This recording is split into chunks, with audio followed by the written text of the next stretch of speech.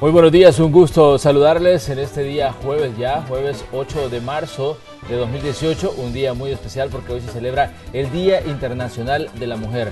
Aprovechamos para felicitar a nuestras compañeras aquí en el estudio de Hechos AM y a todo el personal femenino de Canal 12 y de Red Salvadoreña de Medios y también a todas las salvadoreñas aguerridas que se ganan la vida a diario luchando, luchando por mantener sus familias a flote y también por sus derechos. Buenos días, compañeros. Muy buenos días, Manuel, muchas gracias. En efecto, como tú decías, es un día para reconocer la labor de esas mujeres emprendedoras, de esas mujeres que desde muy temprano se levantan para trabajar, para llevar el sustento a sus familias y bueno, para ser mujeres en su totalidad, mujeres íntegras. Para nosotros, como siempre, un gusto llevarle la información, lo más destacado de las últimas horas. Le estaremos actualizando durante las próximas tres horas de lo que ha ocurrido tanto a nivel nacional como a nivel internacional. Así que le invitamos a que se quede con nosotros. También aprovechamos para saludar a quienes desde ya nos acompañan a través de Facebook. Estamos transmitiendo en tiempo real, así que nos puede buscar como Noticiero Hechos Más. Buenos, días, felicidades Ana Yancy. Gracias igualmente Célida, buenos días Manuel Carlos, buenos días, qué gusto que usted se puede informar con nosotros. Feliz Día Internacional de la Mujer. Eh, vamos a agradecerles a todas esas mujeres que, como ya lo decía Célida, se levantan temprano, son madres, son amigas, son de todo y bueno, aportan muchísimo a nuestro país. Así que felicidades a todas. Carlos, qué gusto saludarte. Un gusto, Nayansi, Célida, Manuel. Eh, buenos días, El Salvador, hora de levantarse, aunque algunos puristas dicen que este día no hay que felicitar a las mujeres, ni hay que celebrarlo. Se arriesgan a que alguien les diga, oye, si usted celebra el Día de la Mujer, no... ¿Cómo no? Hay que celebrar a la mujer, hay que celebrarla todos los días por lo que ella representa. En realidad es la conmemoración del Día de la Mujer, lo que pasó el 8 de marzo en Nueva York, cuando 140 mujeres perdieron la vida. Entonces dicen, bueno, no celebremos recordando que perdieron la vida, conmemoremos eso y eh, mantengámoslo en la agenda todos los días, los 365 días del año, la igualdad, eh, la igualdad de derechos y la importancia de ser mujer. Totalmente de acuerdo van a llevarse a cabo diferentes actividades que tienen que ver con este día en particular y nosotros por supuesto le estaremos dando cobertura para que usted pueda tener todos los detalles.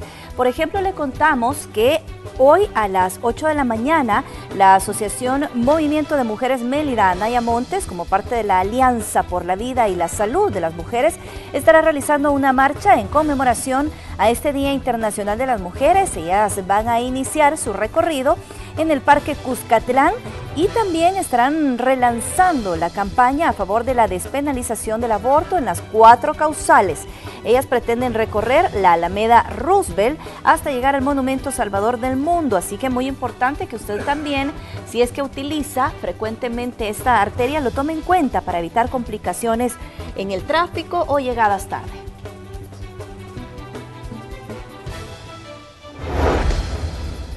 Bueno, también les queremos contar que el Partido Arena va a tener actividad ese día, el Consejo Ejecutivo Nacional, y me imagino que serán todos los candidatos que participaron en las elecciones del 4 de marzo, van a dar datos, datos sobre este proceso electoral que ha vivido El Salvador. Precisamente será Ernesto Mason quien va a encabezar esta conferencia de prensa del Partido Arena Recordemos que él se declaró ganador entrada la noche del día domingo y efectivamente hasta ahora pues las tendencias le continúan, le han favorecido y es el alcalde electo de San Salvador. Así que nosotros como Noticiero Hechos estaremos ahí para darle seguimiento a las declaraciones que se den en este instituto político.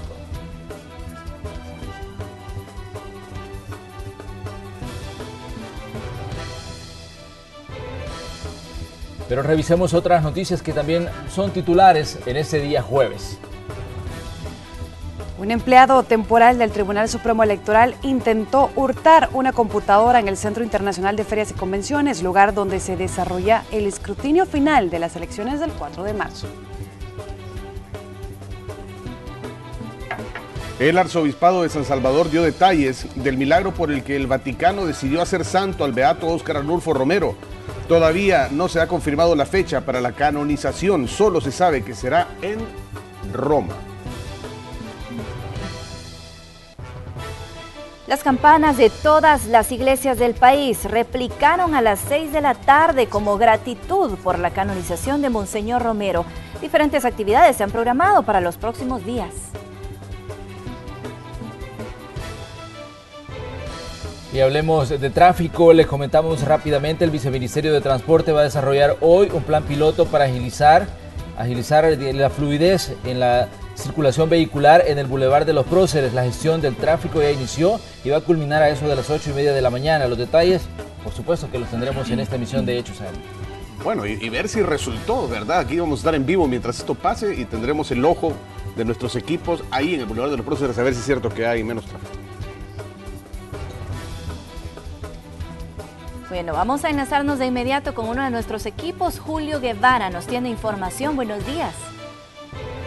Hola, ¿qué tal? Buenos días. Como todos los días, un gusto saludarlos. A ver, compañeros, Manuel daba a conocer uno de los titulares en este momento y es que las autoridades del Viceministerio de Transporte continúan con pruebas piloto para superar la carga vehicular. A mi espalda tengo lo que es la calle que viene de Montserrat. A ver, les explico qué es lo que supuestamente va a ocurrir. Dijeron las 5.30 am ya son, ya se pasaron algunos minutos. Si ustedes se fijan, el tráfico vehicular que viene en este carril subterráneo es todo el que transita de la zona de Montserrat. Bueno, la carga vehicular que viene de este sector siempre se ha desviado a una pequeña incorporación que lleva y que conecta justo con la zona de los próceres.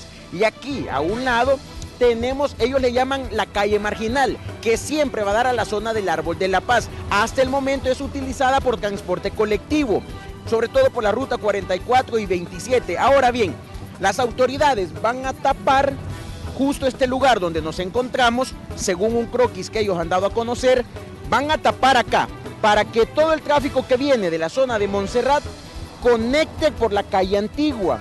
¿Qué es lo que ellos buscan? Acá se arman filas de vehículos todas las mañanas y esto afecta la incorporación de toda la carga vehicular que conecta con los próceres. Ahora, si usted viene de la zona de Montserrat, le repito, va a encontrar este pequeño carril cerrado y usted va a tener que transitar por la calle marginal que antes estaba habilitada sobre todo para transporte colectivo.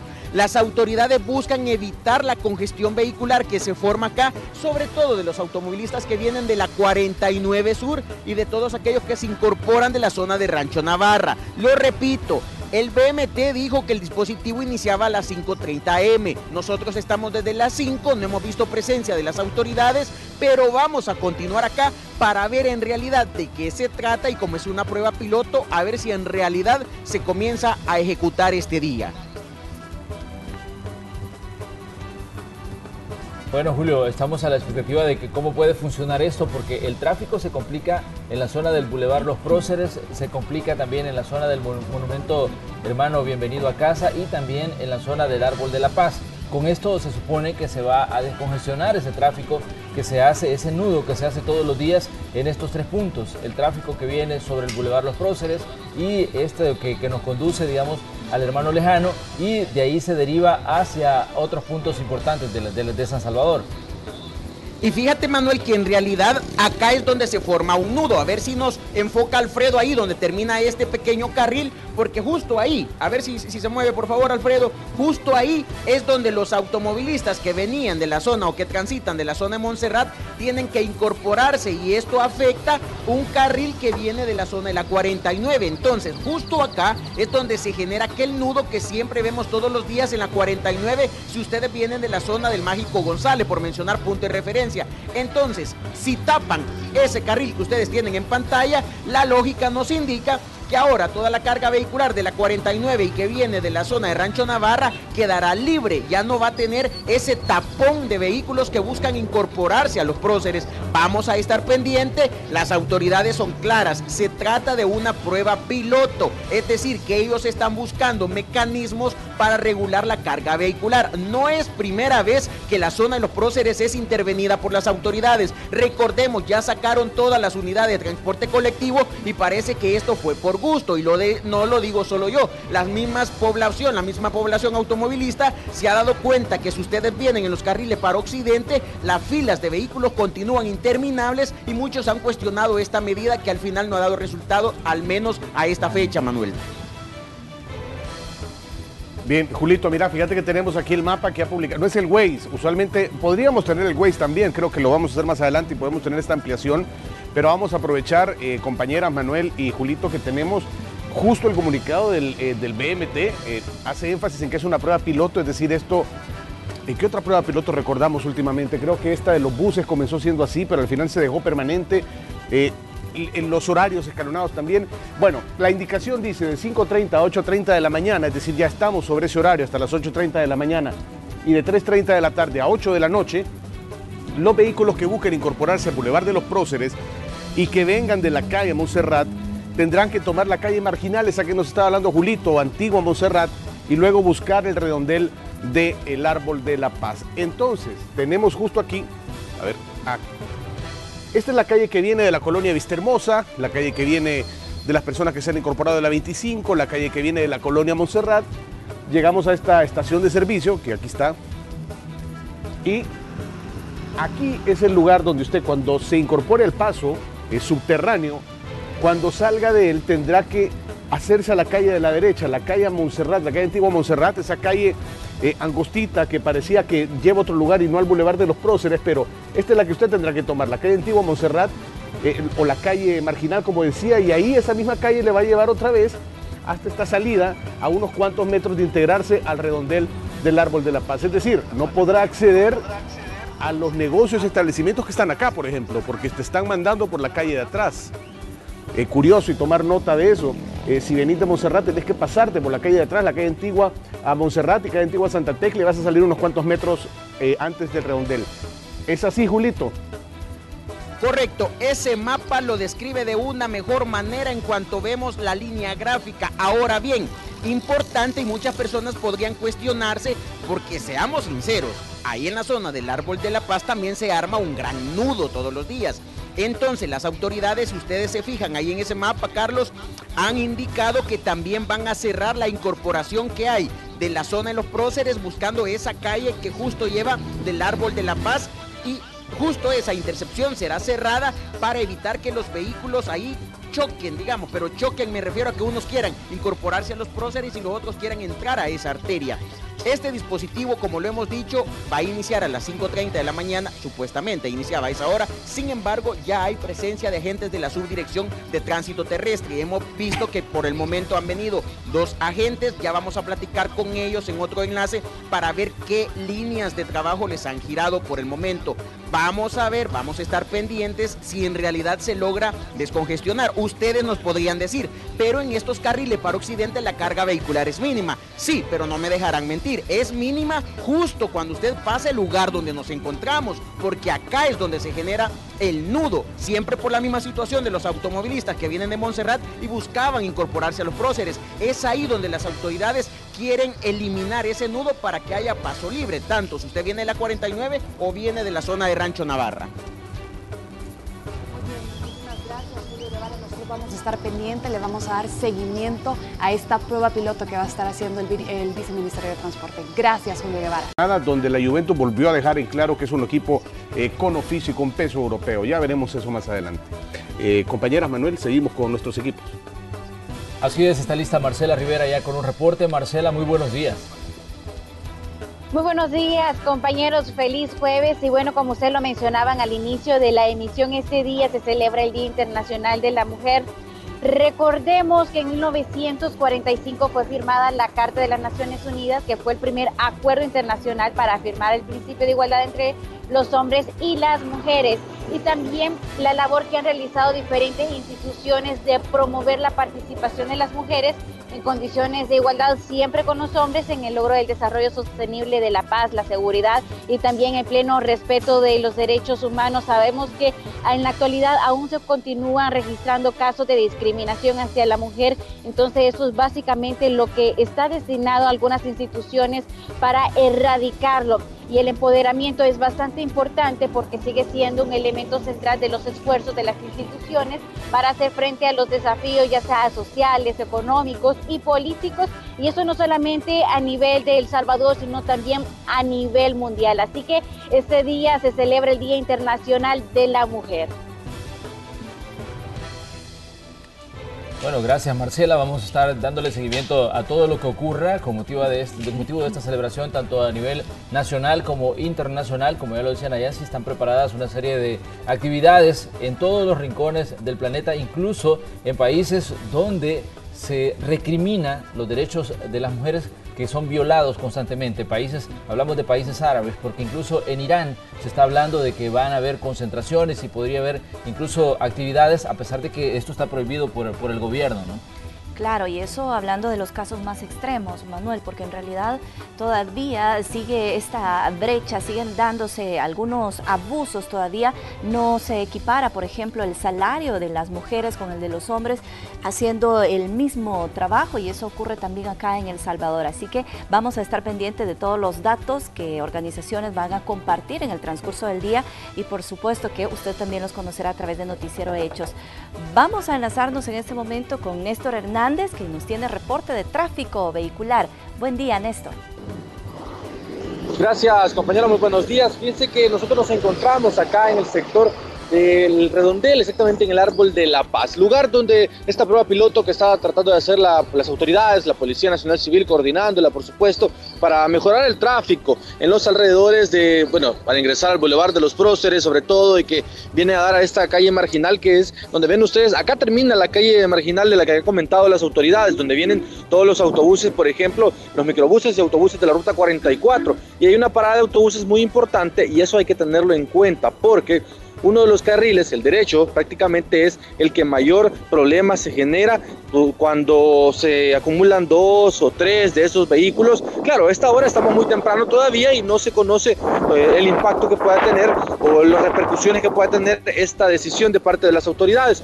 Porque lo que les mencionaba, si se bloquea uno de los carriles y ya se han dado casos donde viene otro otra cosa, por ejemplo, del transporte público y bloquea el carril izquierdo, aquí es donde se hace el problema. Y van a venir a dar exactamente al árbol de la paz. Les vamos a mostrar por acá, viene una buena cantidad de personas y este es el recorrido que estarían haciendo todas las personas a la hora de desplazarse por esta calle marginal, al tomar este redondel del árbol de la paz y así poder llegar hacia el sector del Boulevard de los Próceres. Así que es parte de la información que nosotros queríamos brindarle para mostrarle cómo van a desplazarse acá donde finaliza esta calle, eh, calle marginal, que la parte de la idea de las autoridades es mejorar el tráfico y por eso es, vean, acá es lo que les mencionaba, un autobús de la ruta 44 haciendo la parada respectiva, por supuesto, es una parada autorizada por el Viceministerio de Transporte. Se acumulan ya en estos momentos hasta tres unidades. Va a ser muy importante que eso de las 6, 6.30 de la mañana, cuando se incremente la cantidad de vehículos que vengan por esta calle, si tenga la presencia de las autoridades, ya sea gestores del Viceministerio de Transporte o la Policía Nacional Civil, porque de momento todavía no, han hecho, se han hecho presentes, aunque sí se tiene previsto que lo hagan, porque acá se puede crecer el tráfico por la cantidad de vehículos que vienen del sector de Montserrat. Compañeros, así la información en cuanto a esta situación. Bueno, gracias Néstor. Vamos a estar eh, pendientes de cómo funciona este plan piloto que están desarrollando esta mañana el Viceministerio de Transporte y la División de Tránsito de la Policía Nacional Civil. Por el momento también tenemos reportes de tráfico que hay complicaciones. Esto en el sector de la zona conocida como Don Bosco, esta calle que viene a salir a Ciudad Delgado, nos dice que el tráfico está extremadamente complicado en ese sector y no tenemos reportes ni de accidentes ni de nada. Entonces, eh, solo es la carga vehicular para que podamos focalizar de que los nudos de tráfico se arman hoy en todos lados. Ya no es exclusivo de, zonas, digamos, eh, comerciales o zonas este, importantes de San Salvador, sino en todos lados. En todos lados, Manuel, y a todas horas también, porque hay ciertas arterias que pasan complicadas durante toda hora del día cada vez más temprano porque no son ni siquiera las 6 de la mañana y ya empezamos a tener reportes de complicaciones en el tráfico vehicular. Lo compartimos para que usted también pueda tomarlo en cuenta.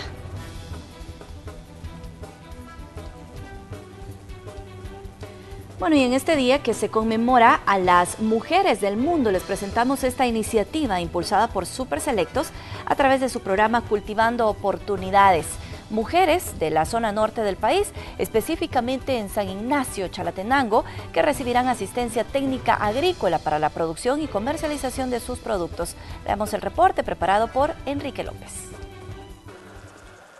Empoderar a las mujeres salvadoreñas y reconocer su contribución al desarrollo económico del país es el propósito del programa Cultivando Oportunidades que impulsa Super Selectos, marcando un antes y un después de las comunidades rurales.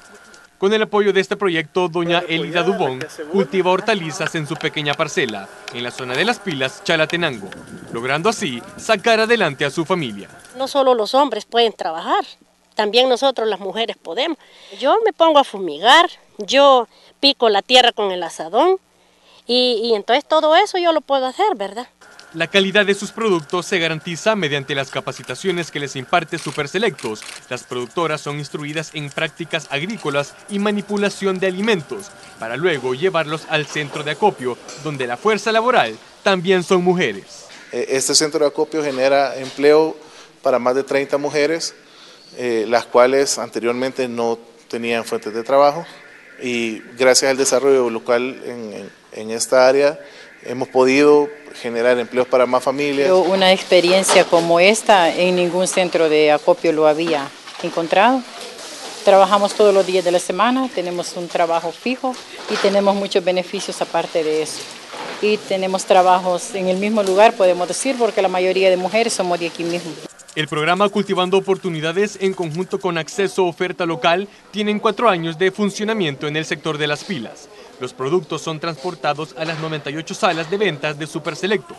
Actualmente se adquiere un 82% de productores nacionales, lo que se traduce en más de 116 millones de dólares que quedan en manos de familias salvadoreñas. Con imágenes e informe de Enrique López, Noticiero Hechos. Bueno, y hablando siempre de la conmemoración a las mujeres, Google compartió en su Doodle 12 historias personales en una serie de narraciones visuales con la colaboración de artistas femeninas de todos los orígenes. El proyecto es, según Google, un viaje conmovedor íntimo y muestra de historias valientes. Se tradujo ya en más de 80 idiomas y se comparten en todo el mundo. En esta recopilación de historias se pueden encontrar desde un relato de cómo la caída del muro de Berlín influenció en la creación de nuevas oportunidades para las mujeres de Alemania hasta el día a día de una madre que lucha por cumplir las necesidades de sus hijos pese a las adversidades. El Día Internacional de la Mujer se conmemora desde el año 1990, fecha en la que se reconocen los logros de las mujeres y sobre todo se resaltan las desigualdades existentes.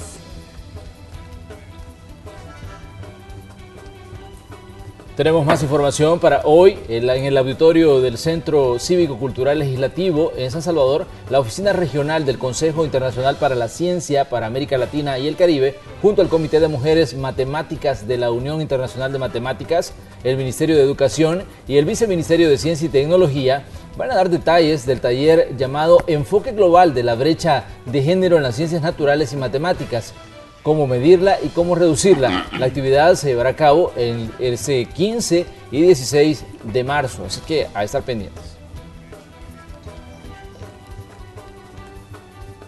En 5.56, antes de irnos a la primera pausa, eh, también saludar a quienes nos han escuchado a través de Radio Sonora en el 104.5.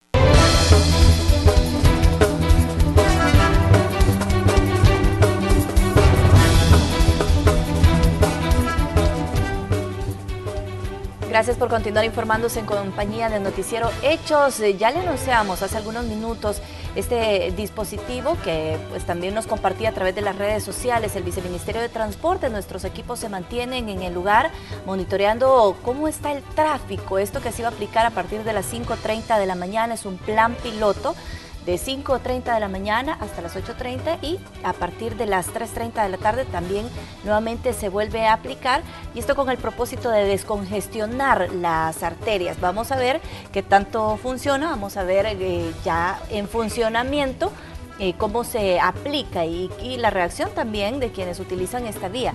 Vamos a enlazarnos con Julio Guevara, que nos tiene más detalles, se mantiene en el lugar monitoreando. Adelante, Julio.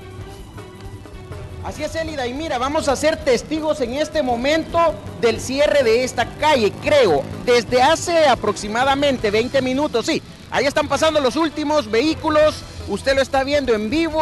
Inicia esta prueba piloto del Viceministerio de Transporte. Ahí están pisando más el acelerador para lograr pasar.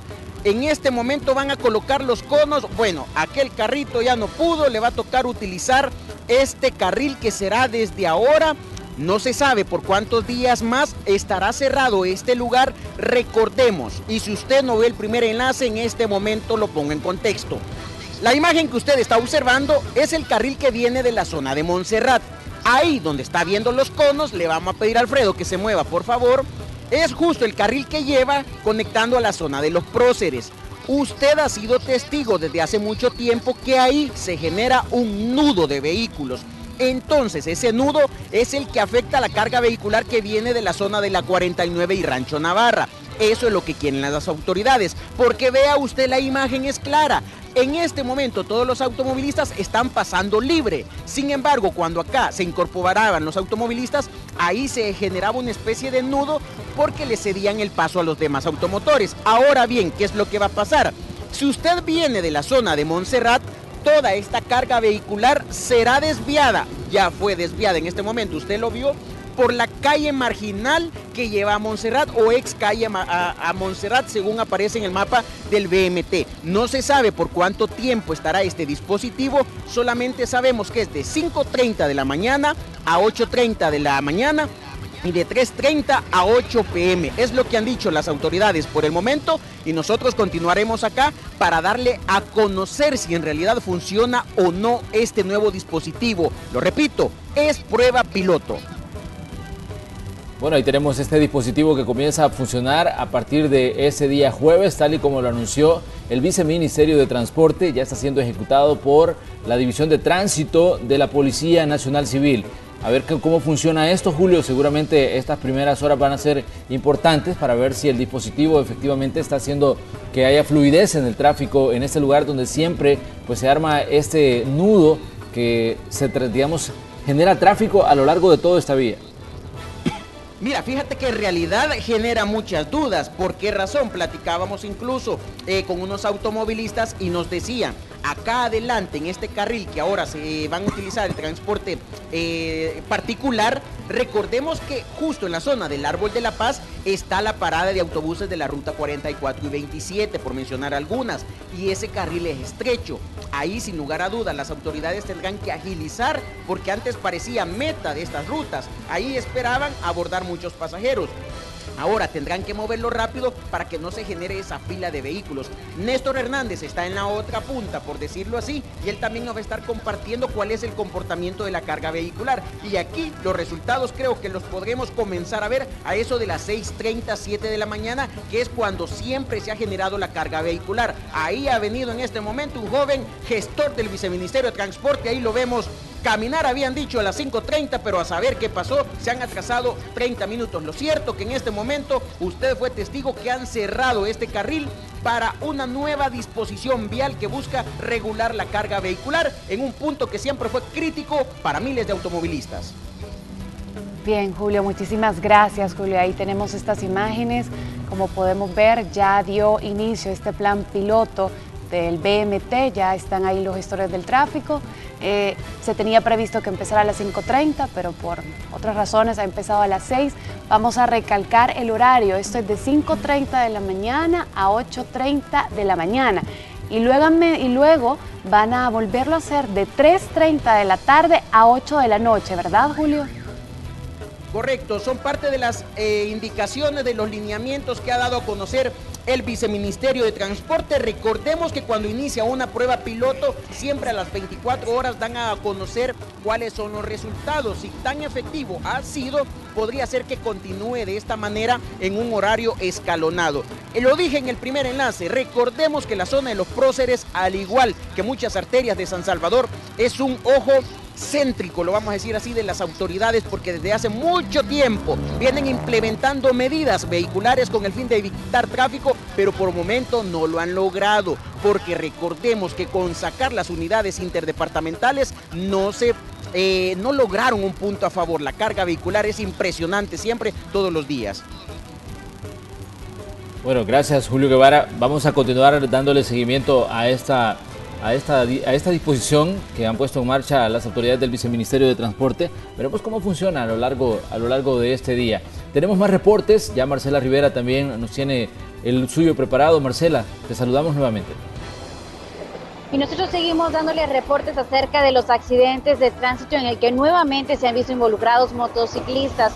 En las últimas horas en la 25 Avenida Norte se registró un percance vial que dejó a dos personas lesionadas. Estas dos personas se trata de un hombre identificado como Natividad de Jesús Morales de 20 años que tuvo lesiones de consideración y una mujer que por el momento no, no ha sido identificada que también tuvo lesiones, pero en el caso de ella fueron leves. Ellos se dirigían en la motocicleta y la persona que la conducía no se percató que el semáforo estaba en rojo y chocó con un vehículo tipo sedán que iba transitando en la zona. Así que estamos viendo como nuevamente la imprudencia de los motociclistas también les está ocasionando no solamente daños a las personas, sino también que en muchos casos también se registran datos fatales. Así que nuevamente el llamado es para las personas, tanto para los automovilistas y en especial para los motociclistas, para que respeten las diferentes señales de tránsito y evitar ese tipo de accidentes, este tipo de tragedias que se registran a diario en el país. Bueno, muchas gracias, eh, Marcela. Lamentablemente los accidentes de tránsito continúan ocurriendo a diario en el territorio salvadoreño y en esta ocasión, como tú mencionabas, dos personas que resultaron lesionadas. Así es, compañeros, es bastante lamentable que se generen ese tipo de incidentes, pero de acuerdo con las autoridades, eso tiene que ver mucho con la distracción del conductor, así que tomemos esos como ejemplo para que no nos suceda a nosotros. Así es, continúa siendo la principal causa de los accidentes de tránsito. Muchas gracias por tu reporte, estaremos enlazándonos más adelante. Bueno, ya está lista en la sala de redacción Ileana Leiva para contarnos qué información ha ocurrido entre la noche y la madrugada. Ileana, muy buenos días.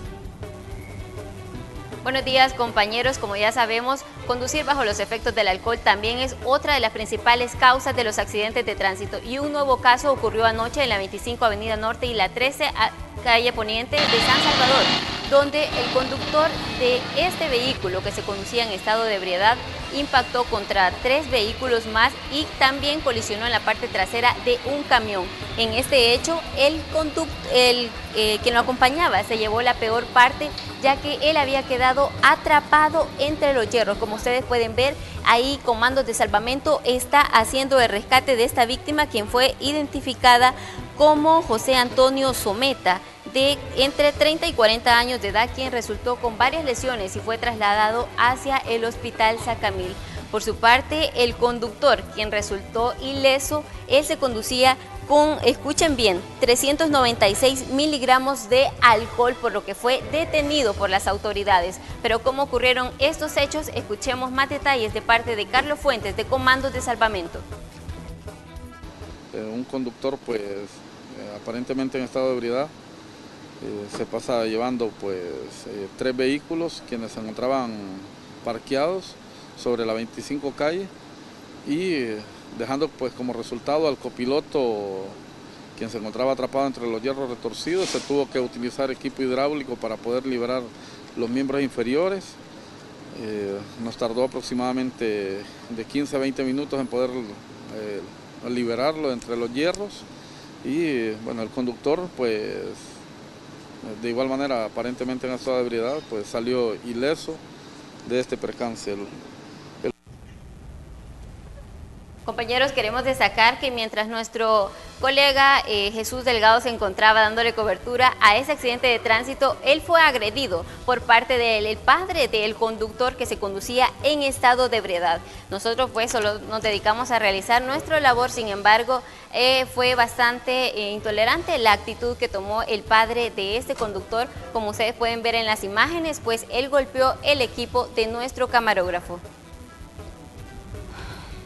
Bueno, definitivamente reprochable la, actitud de, esta persona. Realmente creo yo que al final pues los medios lo único que hacen es recoger la información.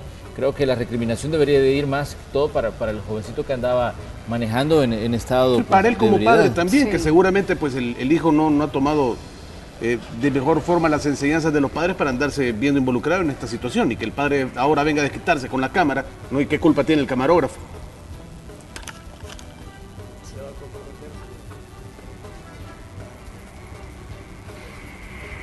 Definitivamente ahí tenemos esta, esta situación. Eh, estas son parte de las, de las digamos, de las, de las cosas que ocurren cuando estás trabajando, digamos, en un turno como este, porque la mayoría de situaciones en las que vas a dar cobertura eh, se tiene que ver con eh, gente que son infractores de tráfico y en este caso, pues el, el, el detenido es un infractor de tráfico. Claro.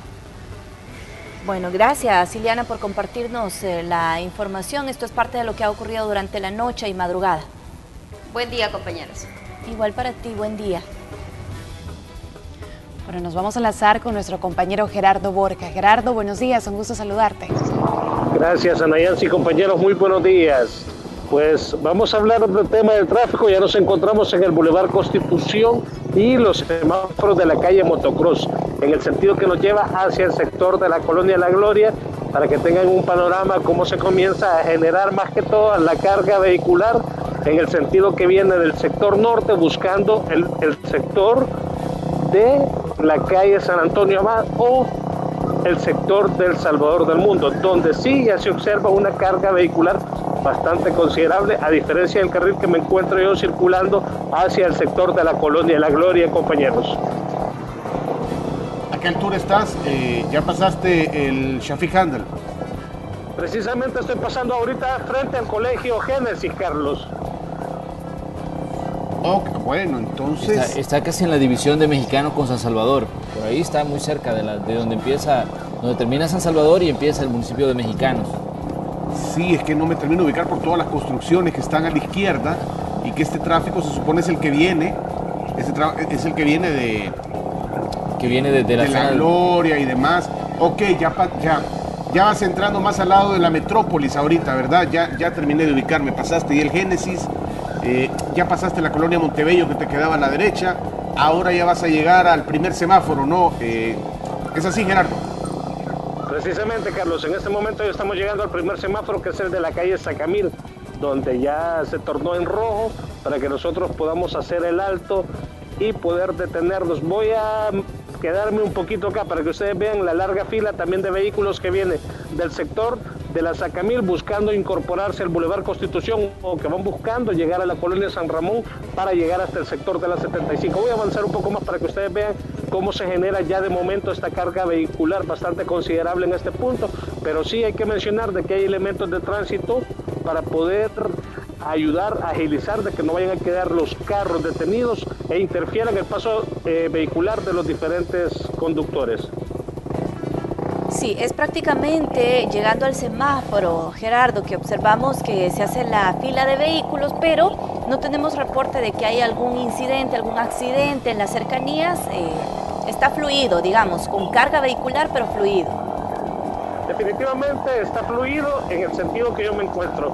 Los carros están parcialmente detenidos, como lo mencionamos, viniendo de la Gloria hacia el sector sur sobre el Boulevard Constitución. Bueno, y hace unos minutos mencionábamos, Gerardo, que ahora desde muy temprano se generan estos congestionamientos, son apenas las 6 de la mañana con 15 minutos y ya se observa la carga de vehículos, como tú decías, que se incorporan a la zona central del país. Desde muy temprano, Celida. Hoy prácticamente el tráfico ya comienza entonces a las 5 y 45, por lo menos en este sector es donde ya se, se concentra desde esa hora el tráfico vehicular. Bien, muchísimas gracias Gerardo Borja por el reporte. Ahí teníamos de que por el momento no hay mucho tráfico, solamente las personas que vienen hacia la zona central del país. Nosotros con esta información vamos a hacer una pausa, pero ya vamos a regresar con más.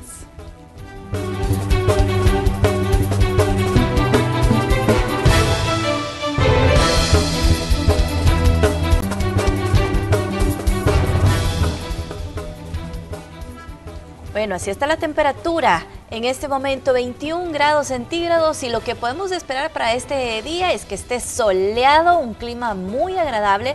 La sensación térmica se mantiene igual, es decir, no tenemos incremento en la velocidad de los vientos. 21 grados centígrados, agradable, agradable por sí. el momento, sí. Aunque en horas del mediodía muy cálidos, pero muy, muy sí. cálidos. Y va a subir. Indicándonos que, que estamos en, en marzo y que está muy cerca también la, la Semana, Semana Santa. Santa. Y va a subir la temperatura. Ahí está, y lo, refleja a las 3 de la tarde, la máxima se va a encontrar a 30 grados centígrados. La mínima va a estar a 19, pero a las 3 de la mañana. Exactamente, esas son las condiciones que podemos esperar en cuanto a las temperaturas para este día jueves, un jueves que desde ya pinta que será muy cálido. Pero bueno, vamos a retomar información que tiene que ver con el proceso electoral. Un colaborador del Tribunal Supremo Electoral fue arrestado porque supuestamente habría robado parte del equipo informático que se está utilizando para el escrutinio final. Era un empleado temporal del ente colegiado. Veamos el reporte.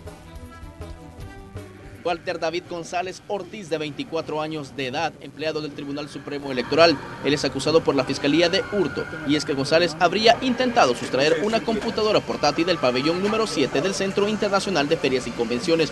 Tras la denuncia, la fiscal electoral Alma Campos se reunió con los magistrados para verificar las cámaras de vigilancia y deducir responsabilidades. Solamente era una computadora que la utilizaban como terminal, no tenía ningún material sensible que el tribunal pudiese poner en riesgo al momento que esta persona la hubiese logrado sustraer. Era un colaborador del departamento de, de registro electoral, pero era empleado temporal. Que también se buscaban por parte del Ministerio Público Fiscal era esa camisa cuadriculada con la que él ejecutó el hecho, porque individualiza más al sujeto. Puesta la denuncia, la policía tomó control del, del lugar y no se permitió la salida de nadie.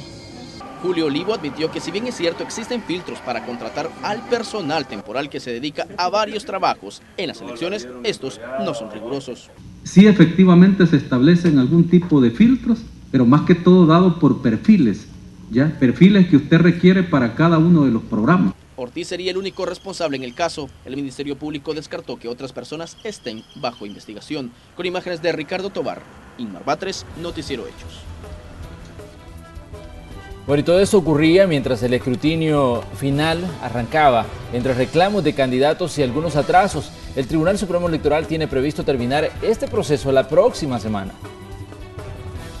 Tribunal Supremo Electoral inició el escrutinio final con algunos atrasos y es que las actas todavía no habían llegado al pabellón centroamericano donde más de mil personas participan del proceso en 65 mesas. Los partidos políticos opinan acerca de la tardanza para contabilizar las actas o en casos extremos abrir las urnas. Algunos sostienen que los resultados pueden variar a medida pase el conteo final. Y el preliminar no llevaba incluido los votos cruzados. Y en San Salvador hay el 12 y ficha por ciento de votos cruzados, lo que significa, y el voto cruzado es marca, en, en cara. Entonces va, puede variar mucho las posiciones en los partidos políticos. Pero sí he pedido que la prensa esté adentro para que esté informada la población. Ellos analicen en aquellos casos a donde se cuente voto por voto y los medios puedan de alguna manera tener acceso a ese recuento por la transparencia del proceso. Cuatro ya están trabajando de manera ininterrumpida. Hay dos que no tienen sus eh, papeletas todavía y por eso no arrancan. Julio Olivo espera que para este día el proceso sea más ágil, se resuelvan algunos impases dentro de las mesas. Pero hemos visto el ritmo normal, las mesas se están integrando, ¿verdad? Se están resolviendo todavía temas como el tema de credenciales, de acreditaciones, luego van a abordar la tarea ¿verdad? Hasta llegar eh, a su conclusión final. Entonces todavía ellos, por ejemplo, están, eh, se les ha capacitado, están entrenándose, están enterándose de algunas cosas del escrutinio, ¿verdad? Las están aceptando, las están asimilando y luego van a arrancar ya en un proceso, eh, digamos, más acelerado. También envió un mensaje a los candidatos a diputados que se proclamaron ganadores. Nadie, hasta este momento, sobre todo porque nosotros somos abogados, a nadie le ha nacido el derecho lo voy a decir así didácticamente, de ser diputado, ¿verdad? Hasta el momento que se verifique en el escrutinio final, ¿verdad? Esa situación, esa condición. Los magistrados proyectan que para el 13 de marzo se tendrán los resultados de las elecciones legislativas y municipales. Con imágenes de Ricardo Tobar, Lumar Batres, Noticiero Hechos. Los resultados de las pasadas elecciones, el dirigente del FMLN, José Luis Merino, reconoció que existió voto de castigo en contra del partido en el gobierno. En un video que circula en redes sociales, aparentemente tomado durante un mitin en Mexicanos, Merino dijo en tono molesto que personas que ocupan cargos en el Ejecutivo se encargaron de desprestigiar el partido y el gobierno y eso provocó los resultados actuales.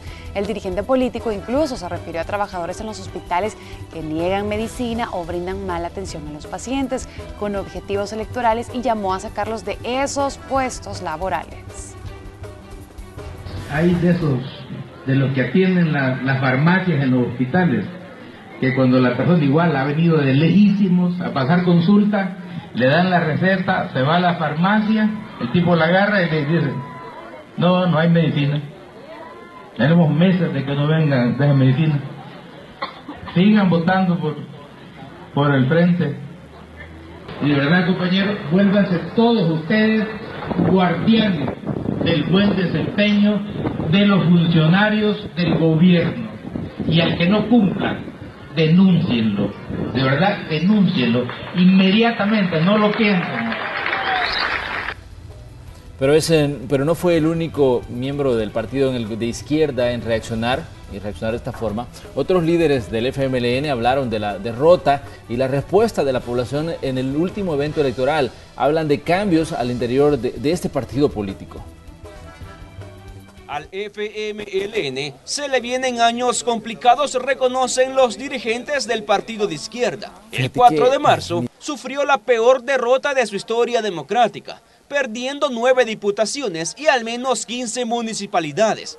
Algunos dicen que es momento de entrar en reflexión para entender el voto de castigo y otros prefieren no hablar de posibles cambios en la dirigencia. Que la comisión política renuncie sería una acción no correcta porque sería como correr frente a un problema que se está dando en el partido. Este partido pasaría de 31 a 22 diputados, lo que lo podría volver irrelevante en la próxima legislatura, donde se tienen que elegir magistrados de la Sala de lo Constitucional, Fiscal General de la República, Corte de Cuentas y Tribunal Supremo Electoral. Pese a los cuestionamientos contra la cúpula, hay quienes prefieren hablar de una campaña en su contra. De hecho, Benito Lara, quien no logró ganar una diputación, es prudente al explicar cómo se debe elegir al candidato presidencial de 2019. El candidato próximo de las elecciones tiene que ser producto de las elecciones internas, ¿verdad? la comisión Eso es el respaldo a Gerson. la comisión política ha demostrado un respaldo, pero ustedes recuerden de que vamos a interna. Si bien en las elecciones el más beneficiado fue Arena, al incrementar el número de diputados y alcaldes, la población también le pasó factura en las urnas, disminuyendo su caudal de votos en 6%. Que no podemos hablar de un falso triunfa- triunfalismo y tomar esto con humildad y hacer una retroalimentación que debemos de hacer para recuperar la credibilidad ante los salvadoreños. Otros partidos que se vieron beneficiados con el voto de castigo al FMLN son Gana, PCN, PDC y un candidato no partidario. Con imágenes de Roberto Martínez, Raúl Hernández, Noticiero Hechos. Y los resultados obtenidos hasta este momento, tras el conteo de los votos, indican que la Asamblea Legislativa estará conformada de la siguiente manera. 39 diputados del partido Arena, 22 del FMLN, 9 diputados del PCN, 9 de Gana y el PDC se quedaría con 3 diputados. Uno de cambio democrático y bueno, la novedad será el diputado no partidario que se agenciaría un curul en el primer órgano del Estado.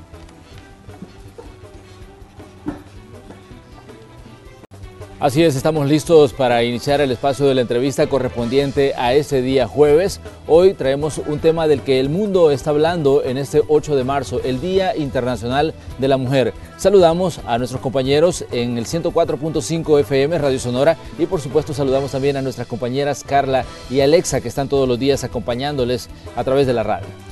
Saludos Manuel, buenos días. Queremos también conocer quién es tu invitada para tocar este tema tan importante que es la conmemoración del Día Internacional de la Mujer, lo que se recuerda hoy 8 de marzo, ese incendio en la fábrica de textiles en Nueva York. ¿Quién es tu invitado?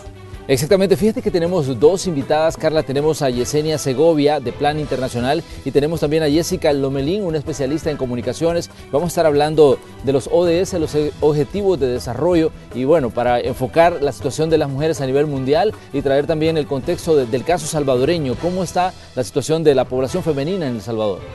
Bien Manuel, nos quedamos contigo entonces y la entrevista. Así es, bueno, saludamos nuevamente a la audiencia del 104.5 FM Radio Sonora y vamos a poner en contexto algunos elementos para entrar de lleno al tema de esta mañana. En El Salvador, según datos estadísticos, 53 de cada 100 habitantes son mujeres, es decir, la población femenina es mucho más numerosa que la masculina.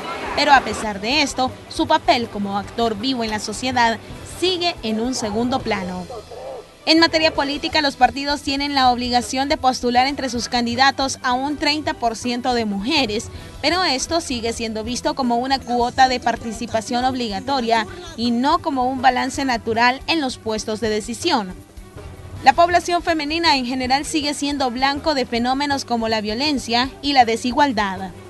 Informes de instituciones públicas señalaron en el último año que la violencia feminicida afecta a las mujeres en todo su ciclo de vida. Sin embargo, las principales víctimas son las mujeres jóvenes y en edad reproductiva, siendo los departamentos con mayor porcentaje de hechos de feminicidio San Salvador, seguido por San Miguel, La Paz y Sonsonate. Solo en el mes de junio de 2017, la violencia feminicida le cobró la vida a una mujer cada 16 horas. Alarmante dato que reflejó el informe de estado y situación de violencia que presentó el Instituto Salvadoreño para el Desarrollo de la Mujer. A esto se suma un dato preocupante, los casos de violencia contra la mujer en la Policía Nacional Civil, una agente desaparecida desde hace más de dos meses, otra violada en una instalación policial y otra más asesinada en una subdelegación. En los dos primeros meses de 2018 han sido asesinadas 72 mujeres. En el tema de violencia destaca que a partir de 2015 la violencia feminicida ha tenido una escalada alarmante. 574 mujeres en 2015 y 524 en 2016. Solo en el primer trimestre de 2017 se contabilizaron 201 mujeres asesinadas y la tendencia continúa en este 2018. En cuanto a la violencia sexual, las investigaciones reflejan que está afectando a la gran mayoría de niñas, adolescentes y mujeres en edad reproductiva. En promedio, la Fiscalía General de la República recibe anualmente más de 6.000 mujeres víctimas de delitos contra la libertad sexual reportando para el año 2016 5.970 mujeres, niñas y adolescentes víctimas de delitos contra la libertad sexual. Esto representa una tasa de 173 por cada 100.000 mujeres si cruzamos los datos aportados por el Ministerio de Salud. De acuerdo a las inscripciones maternas de niñas y adolescentes, fueron en 2015 de 25.021 y en 2016 de 21.467 lo que representa un 23.41 y 22.63% respectivamente respecto del total de inscripciones maternas. Esta mañana, en el espacio de la entrevista de Hechos AM, hablaremos sobre la situación de la población femenina en El Salvador, en este Día Internacional de la Mujer. Saludamos a nuestras invitadas en esta mañana de día jueves, jueves 8 de marzo. Le damos la bienvenida a Yesenia Segovia, asesora nacional de género y protección de la niñez de Plan Internacional. Yesenia, un gusto recibirla aquí en Canal 2. Gracias, muchas gracias por la invitación. Y también está con nosotros Jessica Lomelín, especialista en el área de comunicaciones para la organización Equal Measures 2030. Bienvenida. Gracias. Bueno, me gustaría quizás que comenzáramos haciendo un panorama de cuál es la situación de las mujeres en el mundo, porque definitivamente hoy se está hablando del Día Internacional de la Mujer, pero digamos, ¿qué tanto se ha avanzado en los derechos de las mujeres? Porque hay tanta, digamos, una brecha tan grande entre unos países y otros al hablar de derechos de la, de la población femenina.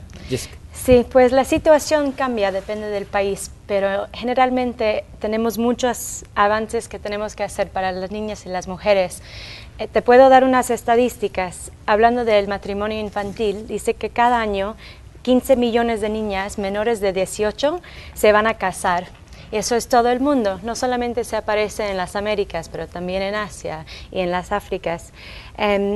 62 em, millones de niñas em, no están en la educación en todo el mundo. Entonces, ya sabemos que hay tantas áreas donde tenemos que enfocar, pero lo bueno es que tenemos días como hoy donde es el día de, no importa si es de una organización o cualquier persona, pero si le pertenecen los derechos humanos, los derechos de las mujeres, hoy es el día para hablar de esos temas y saber que estamos em, en un tiempo donde tenemos progresar y sabemos que en lo más ayuda que damos a las niñas y las mujeres se va a beneficiar a todo, a todos. Es fundamental que la igualdad de género se mejora la vida para toda la comunidad, todas las familias y toda la sociedad. Pero ¿qué tan consciente es la población femenina de la lucha por sus derechos?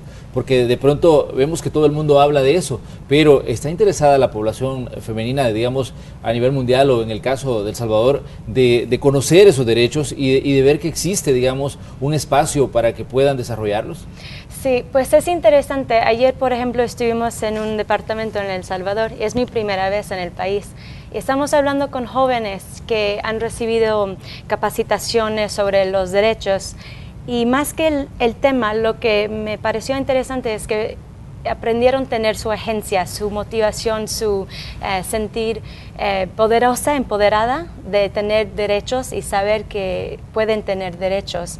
Y esas niñas me están platicando que antes nunca sabía sobre los, eh, el salud reproductivo, que sus papás no querían hablar sobre eso con ellos, pero ahora sí están preguntando cuáles sobre ciertos temas, están hablando sobre el género en las comunidades y eso fue más sobre la confianza y el conocimiento de ellos sí tienen el poder de hablar, de, preguntar, de tener opiniones y esa agencia, esa sensación de sentirse eh, valorable, así es como se empieza con los derechos humanos. Si es solamente una ley, algo en el papel y no se sientes valorable eh, por lo que te han dicho toda la vida en la familia, que por ser niña eres, eh, tienes que quedar en la casa, no puedes ir a la escuela, qué confianza vas a tener tú en, sentirse que puedes lograr tus sueños. Entonces, para nosotros lo que hacemos EcoMeasures en, en alianza con Plan Internacional es enfocar realmente en, el poder de la niña y saber que si tienen la, la manera de persistir y que yo siento confiable en, en, esta semana estar en El Salvador que la nueva generación se va a cambiar para todo, para la situación aquí. Bueno, eso es, digamos, el panorama que tenemos a nivel mundial, pero si podemos hablar de, El Salvador, Yesenia, ¿qué encontramos en la situación de la población femenina de nuestro país? Porque los datos nos dicen que es mayoría, las mujeres en El Salvador son mayoría, son un 53% de la población de Salvador, pero ¿qué tanto se ha avanzado en, digamos, garantizar los derechos de las mujeres. Sí, bueno, primero que bien que estemos hablando de este tema en esta fecha histórica, una fecha importante tanto a nivel del país como a nivel internacional. El 8 de marzo es una fecha en la que se conmemora la lucha de muchas mujeres, de muchas niñas por sus derechos, reivindicando sus derechos laborales, sus derechos políticos, sus derechos a la salud, a la educación. Entonces, esta es una fecha histórica que marca ese hito, ese precedente, por lo cual ahora muchas mujeres, podemos decir, estamos ligeramente en mejores condiciones de realización de nuestros derechos, pero que sin embargo, como ustedes muy bien lo decían antes, persisten algunas brechas en temas fundamentales. Por ejemplo, en el caso de El Salvador, si bien es cierto y es importante reconocer algunos avances en materia de cómo se ha creado condiciones en la normativa legal, en la normativa jurídica, tenemos algunas leyes que son de avanzadas para prevenir y contrarrestar la violencia contra las niñas y las mujeres, no obstante, y como lo decían en la nota que antecedió la entrevista, todavía hay situaciones de violencia contra las mujeres y las niñas que son alarmantes y preocupantes. En lo que va de este año, solo en los primeros meses ya se contabilizan alrededor de 72 feminicidios. Los feminicidios es la expresión máxima del odio, de la misoginia en contra de las mujeres y las niñas. Significa que antes de que una mujer sea asesinada, sea víctima de feminicidio, ha habido todo un ciclo de violencia, ha habido expresiones de violencia, violencia sexual, violencia física, violencia psicológica, en fin, y que ha sido casi siempre de manera sistemática contra las mujeres y que termina en un feminicidio. Esas son cifras alarmantes que deben preocuparnos a la población, porque no podemos interiorizar como que es normal, como que es natural que las niñas, que las mujeres sean asesinadas por, por razón de género, por el hecho de ser mujeres. Pero si vemos también en otros escenarios, por ejemplo, en los derechos a la participación política, Allí incluso, a pesar de algunos avances también que tenemos en el país y a nivel mundial, no obstante todavía hay un rezago, todavía hay brechas. Por ejemplo, en la penúltima elección que hubo para diputaciones y alcaldías, se eligieron alrededor de 27 mujeres parlamentarias acá en el país. Habría que ver en esta elección cómo ha quedado configurada y cuántas mujeres son las que finalmente van a ser diputadas también en la Asamblea Legislativa. Entonces sí vemos que todavía hay condiciones que se tienen que seguir incidiendo para que mejoren a favor de las mujeres. Pero ¿cómo dar ese salto? Porque definitivamente en El Salvador creo yo que el espacio se ha abierto, se ha discutido mucho sobre la situación de las mujeres. En la Asamblea Legislativa ha habido intensos debates e incluso hemos escuchado expresiones de todo tipo cuando se habla de avances en la lucha por erradicar la violencia, cuando se habla de abrir espacios políticos, pero ¿qué tanto pasa esto del debate político, de lo que queda plasmado en una ley, a la realidad? ¿Cuál es el impacto real que hay, digamos, en la, en la vida de la población femenina salvadoreña? Porque las leyes definitivamente plantean, digamos, una situación ideal, pero otra muy distinta es lo que tenemos a nivel real, digamos, la situación de, de la mujer que vive a diario, su día a día, luchando por mantener a flote a su familia. Claro, claro, y es ahí donde eh, decíamos, hace falta todavía un mayor esfuerzo para impactar en la cultura, por ejemplo, para que los patrones tradicionales que existen, que tienden siempre a subvalorar a las mujeres y a las niñas, vayan cambiándose y ahí es donde la sociedad en su conjunto tenemos una responsabilidad fuerte, especialmente las personas adultas, porque somos quienes estamos modelando frente a las nuevas generaciones. Por supuesto, las normativas no son suficientes, el contar con leyes de avanzada no es suficiente, es un gran avance, por supuesto, pero hace falta materializar, hace falta concretizar también esas normativas y sobre todo hacer cambios estructurales, cambios de fondo que impacten también en el imaginario de la sociedad, de cómo se percibe y se valora a las niñas y a las mujeres. Porque resulta que, y lo hemos estado viendo en estos días en las comunidades, escuchando a las niñas, a las adolescentes en las comunidades cuando nos dicen es que yo quiero estudiar, pero por la situación económica yo ya no puedo hacerlo. O porque tengo que cuidar a mis hermanitos y a mis hermanitas, ya no puedo ir a la escuela. O por otro lado también por el tema de violencia social y violencia de género, esa es otra barrera por las cuales muchas niñas deben de desertar de la escuela. Si las niñas no eh, desarrollan, si no avanzan en su eh, progreso intelectual, valga la redundancia, en su progreso académico, significa entonces que nuestro país también se va a ir quedando rezagada en este avance. Ahora bien, ¿de qué está hablando el mundo, digamos, en este Día Internacional de la Mujer? Yo veía que hay manifestaciones en España, que hay movimientos en diversos puntos de Europa, países que eh, desde aquí les conocemos como países del primer mundo, donde se está hablando mucho de derechos de las mujeres. ¿Cuál es, digamos, el, uno de los centros de discusión? Los ingresos económicos, la igualdad de, digamos, de salarios para, para hombres y mujeres. ¿Cuánto tiempo tiene que transcurrir, Jessica, para que ese debate, digamos, trascienda las fronteras de estos países de Europa o de otras partes a, digamos, los países nuestros, aquí en la región centroamericana o en otras partes de África? Sí, pues hablando del tema económico, eso es algo que pertenece por todo el mundo. Y tengo una estadística diciendo que en promedio las mujeres todavía ganan el 77% de lo que ganan los hombres. Y eso se pasa por todo el mundo, pero sabemos realmente soluciones diciendo que cerrando las brechas de género en la fuerza laboral sumaría 28 trillones a la económica mundial. Entonces sabemos que eh, hablando del de, salario y sueldo y oportunidades económicas, Obviamente una, una, respuesta es eh, los derechos humanos y derechos de las mujeres, pero también es una solución em, obvia, es algo que aumenta el GDP del país, entonces es algo que como decías, en, España ahorita están haciendo una marcha que todas las mujeres en, el país no se están yendo al trabajo. Y eso es una, se muestra algo muy importante y muy fuerte, diciendo que no importa que sobre mi experiencia o lo que sea, yo debería recibir igual. Em, y lo bueno es que esas conversaciones ya se están empezando y es algo que es más común. Em, yo como más joven, cuando empecé en el trabajo, no sentía confortable preguntar o pedir o sentirme em, que tenía el valor de recibir más. Pero ahora que estoy viendo adultos más mayores que están demandando eso, ahora ya me da chance de decir, ok, podemos pedir más. Y es algo que, pues, y a eso le interesa mucho el sector privado, que es algo que eh, eh, nos beneficia a todos porque no es solamente una lucha de, organizaciones feministas o los ONGs, sino el sector privado también se está metiendo en este debate diciendo que sabemos que cuando ofrecemos más derechos a las mujeres, eh, tenemos el, sueldo igual, que vamos a tener empleados más fiel, más loyal a la empresa y que vamos a aumentar y sigue siendo más adelante.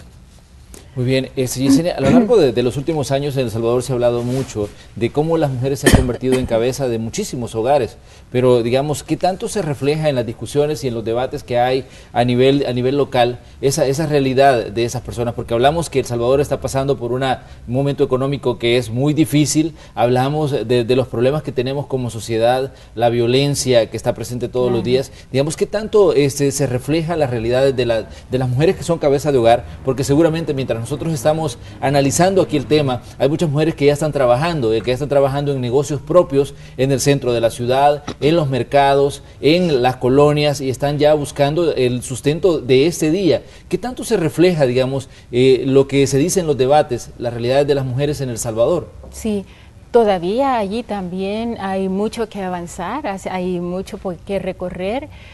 Como usted dice, a este momento, a esta hora ya muchas mujeres salieron a trabajar, a ganarse el sustento diario, pero también muchas mujeres se han quedado en casa haciendo las labores de la casa, que es un trabajo también fuerte, importante y no remunerado.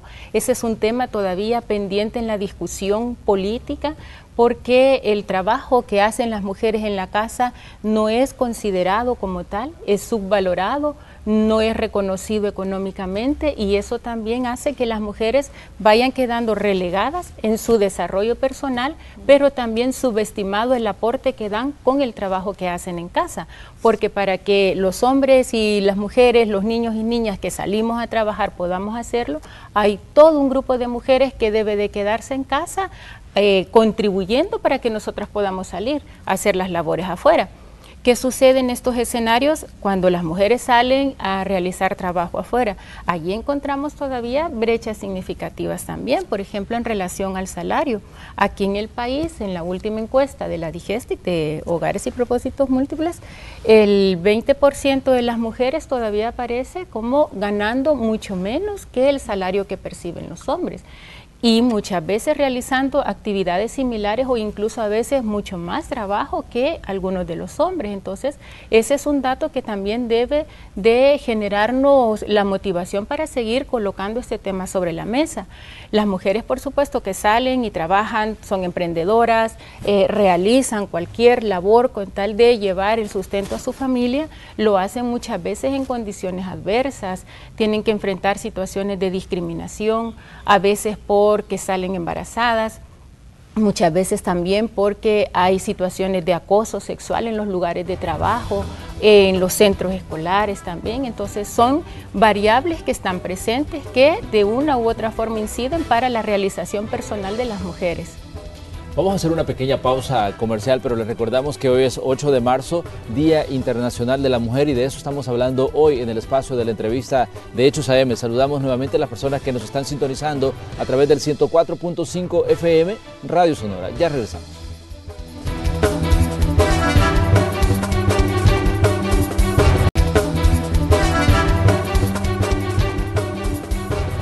Esta mañana en el espacio de la entrevista de Hechos AM estamos conversando con Yesenia Segovia, asesora nacional de género y protección de la niñez de Plan Internacional y también está con nosotros Jessica Lomelín, especialista en el área de comunicación para la organización Equal Natures 2030. Estamos hablando sobre el Día Internacional de la Mujer. Enfoquemos otro tema que creo yo que en El Salvador debe ser objeto de muchísima discusión, la situación de la violencia hacia las mujeres. Jessica, ¿cómo se ve desde fuera, digamos, del Salvador, este problema que aquí parece en determinado momento se normaliza hasta cierto punto en la situación de violencia. Sí, pues en, esta semana que he estado en El Salvador, esa es una conversación que, que, aparece ciertamente siempre cuando estás hablando con alguien y en una forma en hablarlo así tan simple parece que, como dijiste, está un poco normalizado, em, pero al mismo tiempo me da, un poco de esperanza porque, como decíamos, em, en las comunidades son las niñas, eso es la diferencia, las niñas que ya nos está demandando un cambio, nos están diciendo queremos quedarnos en la escuela, aunque hemos experienciado formas de violencia, queremos seguir adelante. Entonces, aunque sea un problema muy grande en El Salvador y también en el, en el mundo, tengo una estadística que dice que una de cada tres mujeres experiencian una forma de violencia contra el género en su vida. Entonces, es algo que aparece por todo el mundo y cierto que en El Salvador es algo muy es algo que me ha impactado mucho, pero me da esperanza que las niñas y las mujeres eh, sí se quieren persistir.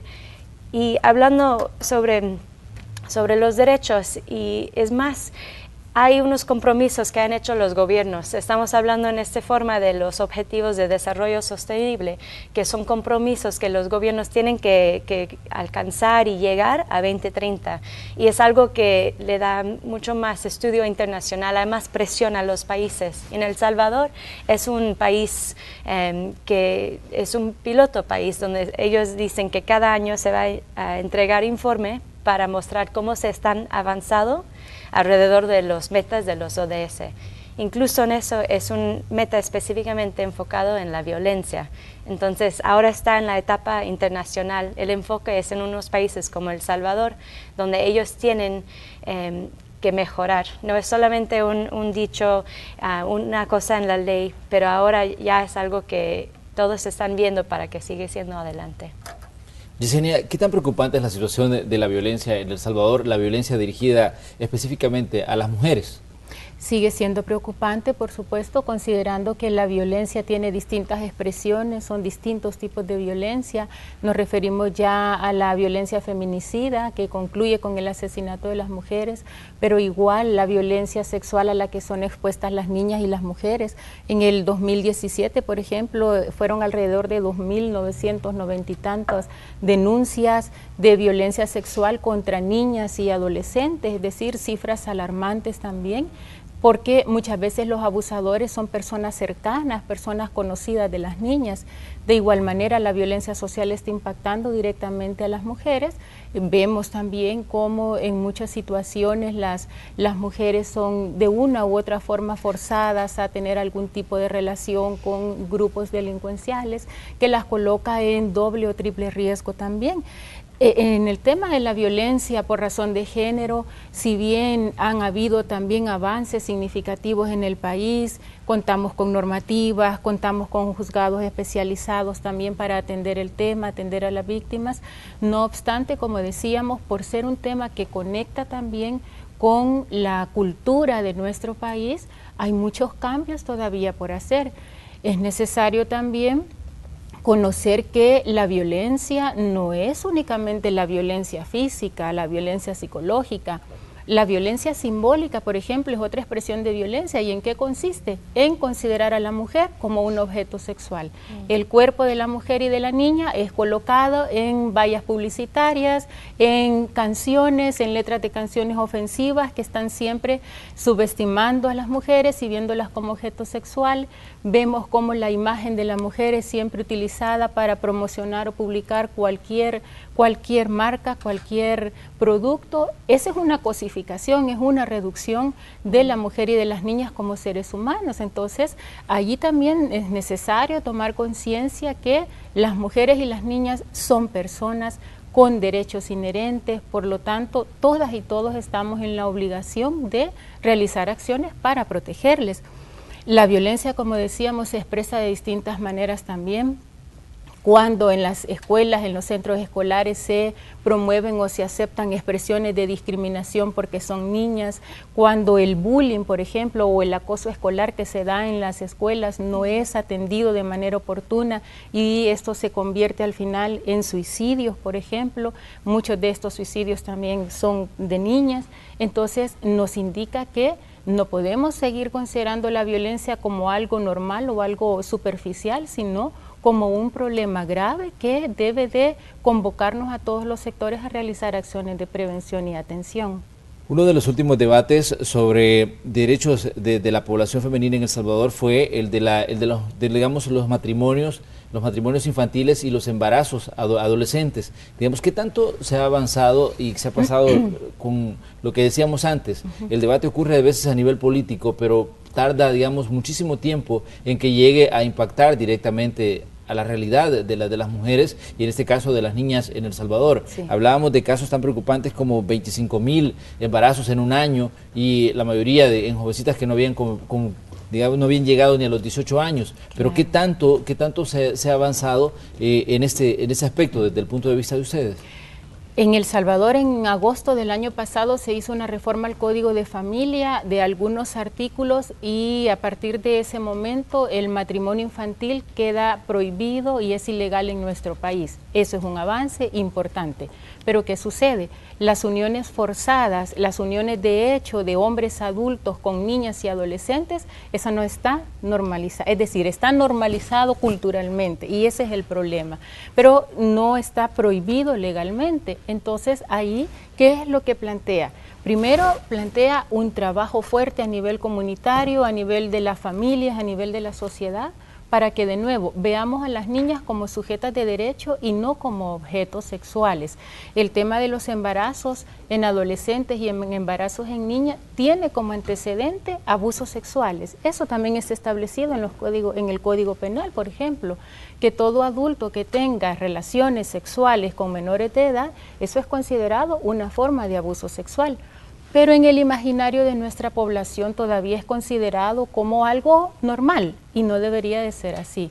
Hemos escuchado de nuevo en las comunidades y Plan Internacional está justo realizando una investigación muy importante sobre las uniones forzadas y hemos escuchado cómo en, el imaginario de las personas nos dice, si es que el señor tenía 60 años, se acompañó, la gente dice, se llevó a la niña de 13 o 14 años porque como vivían en una gran pobreza y el Señor es buena gente, quiere ayudarle a la familia.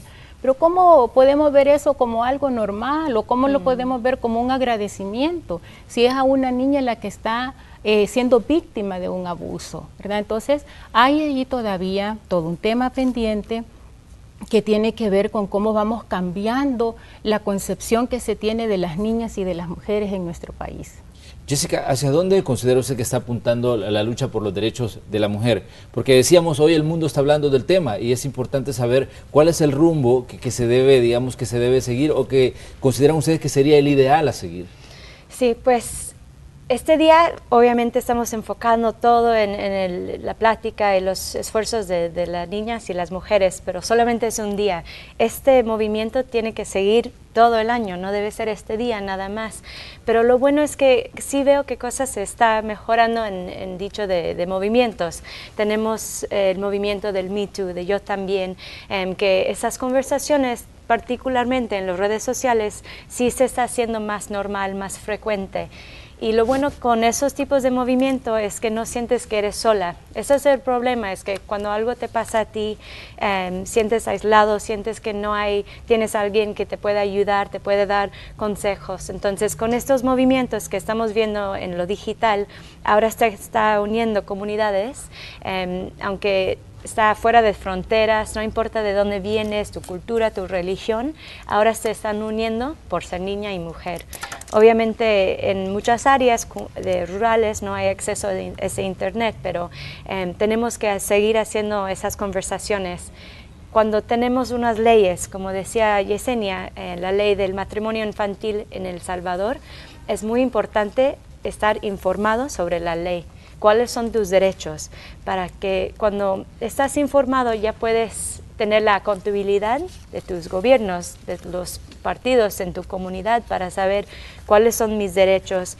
Em, es ilegal casarme de esta edad, ¿dónde puedo ir para, informar y, y, denunciar este, este evento, este acto? Entonces, es lo veo en dos maneras. Uno es el movimiento social, seguir eh, platicando, em, metiendo tu historia, eh, sintiendo cerca, unida. Y el siguiente es estar informado, porque en lo más leyes que promovemos, em, lo podemos seguir adelante.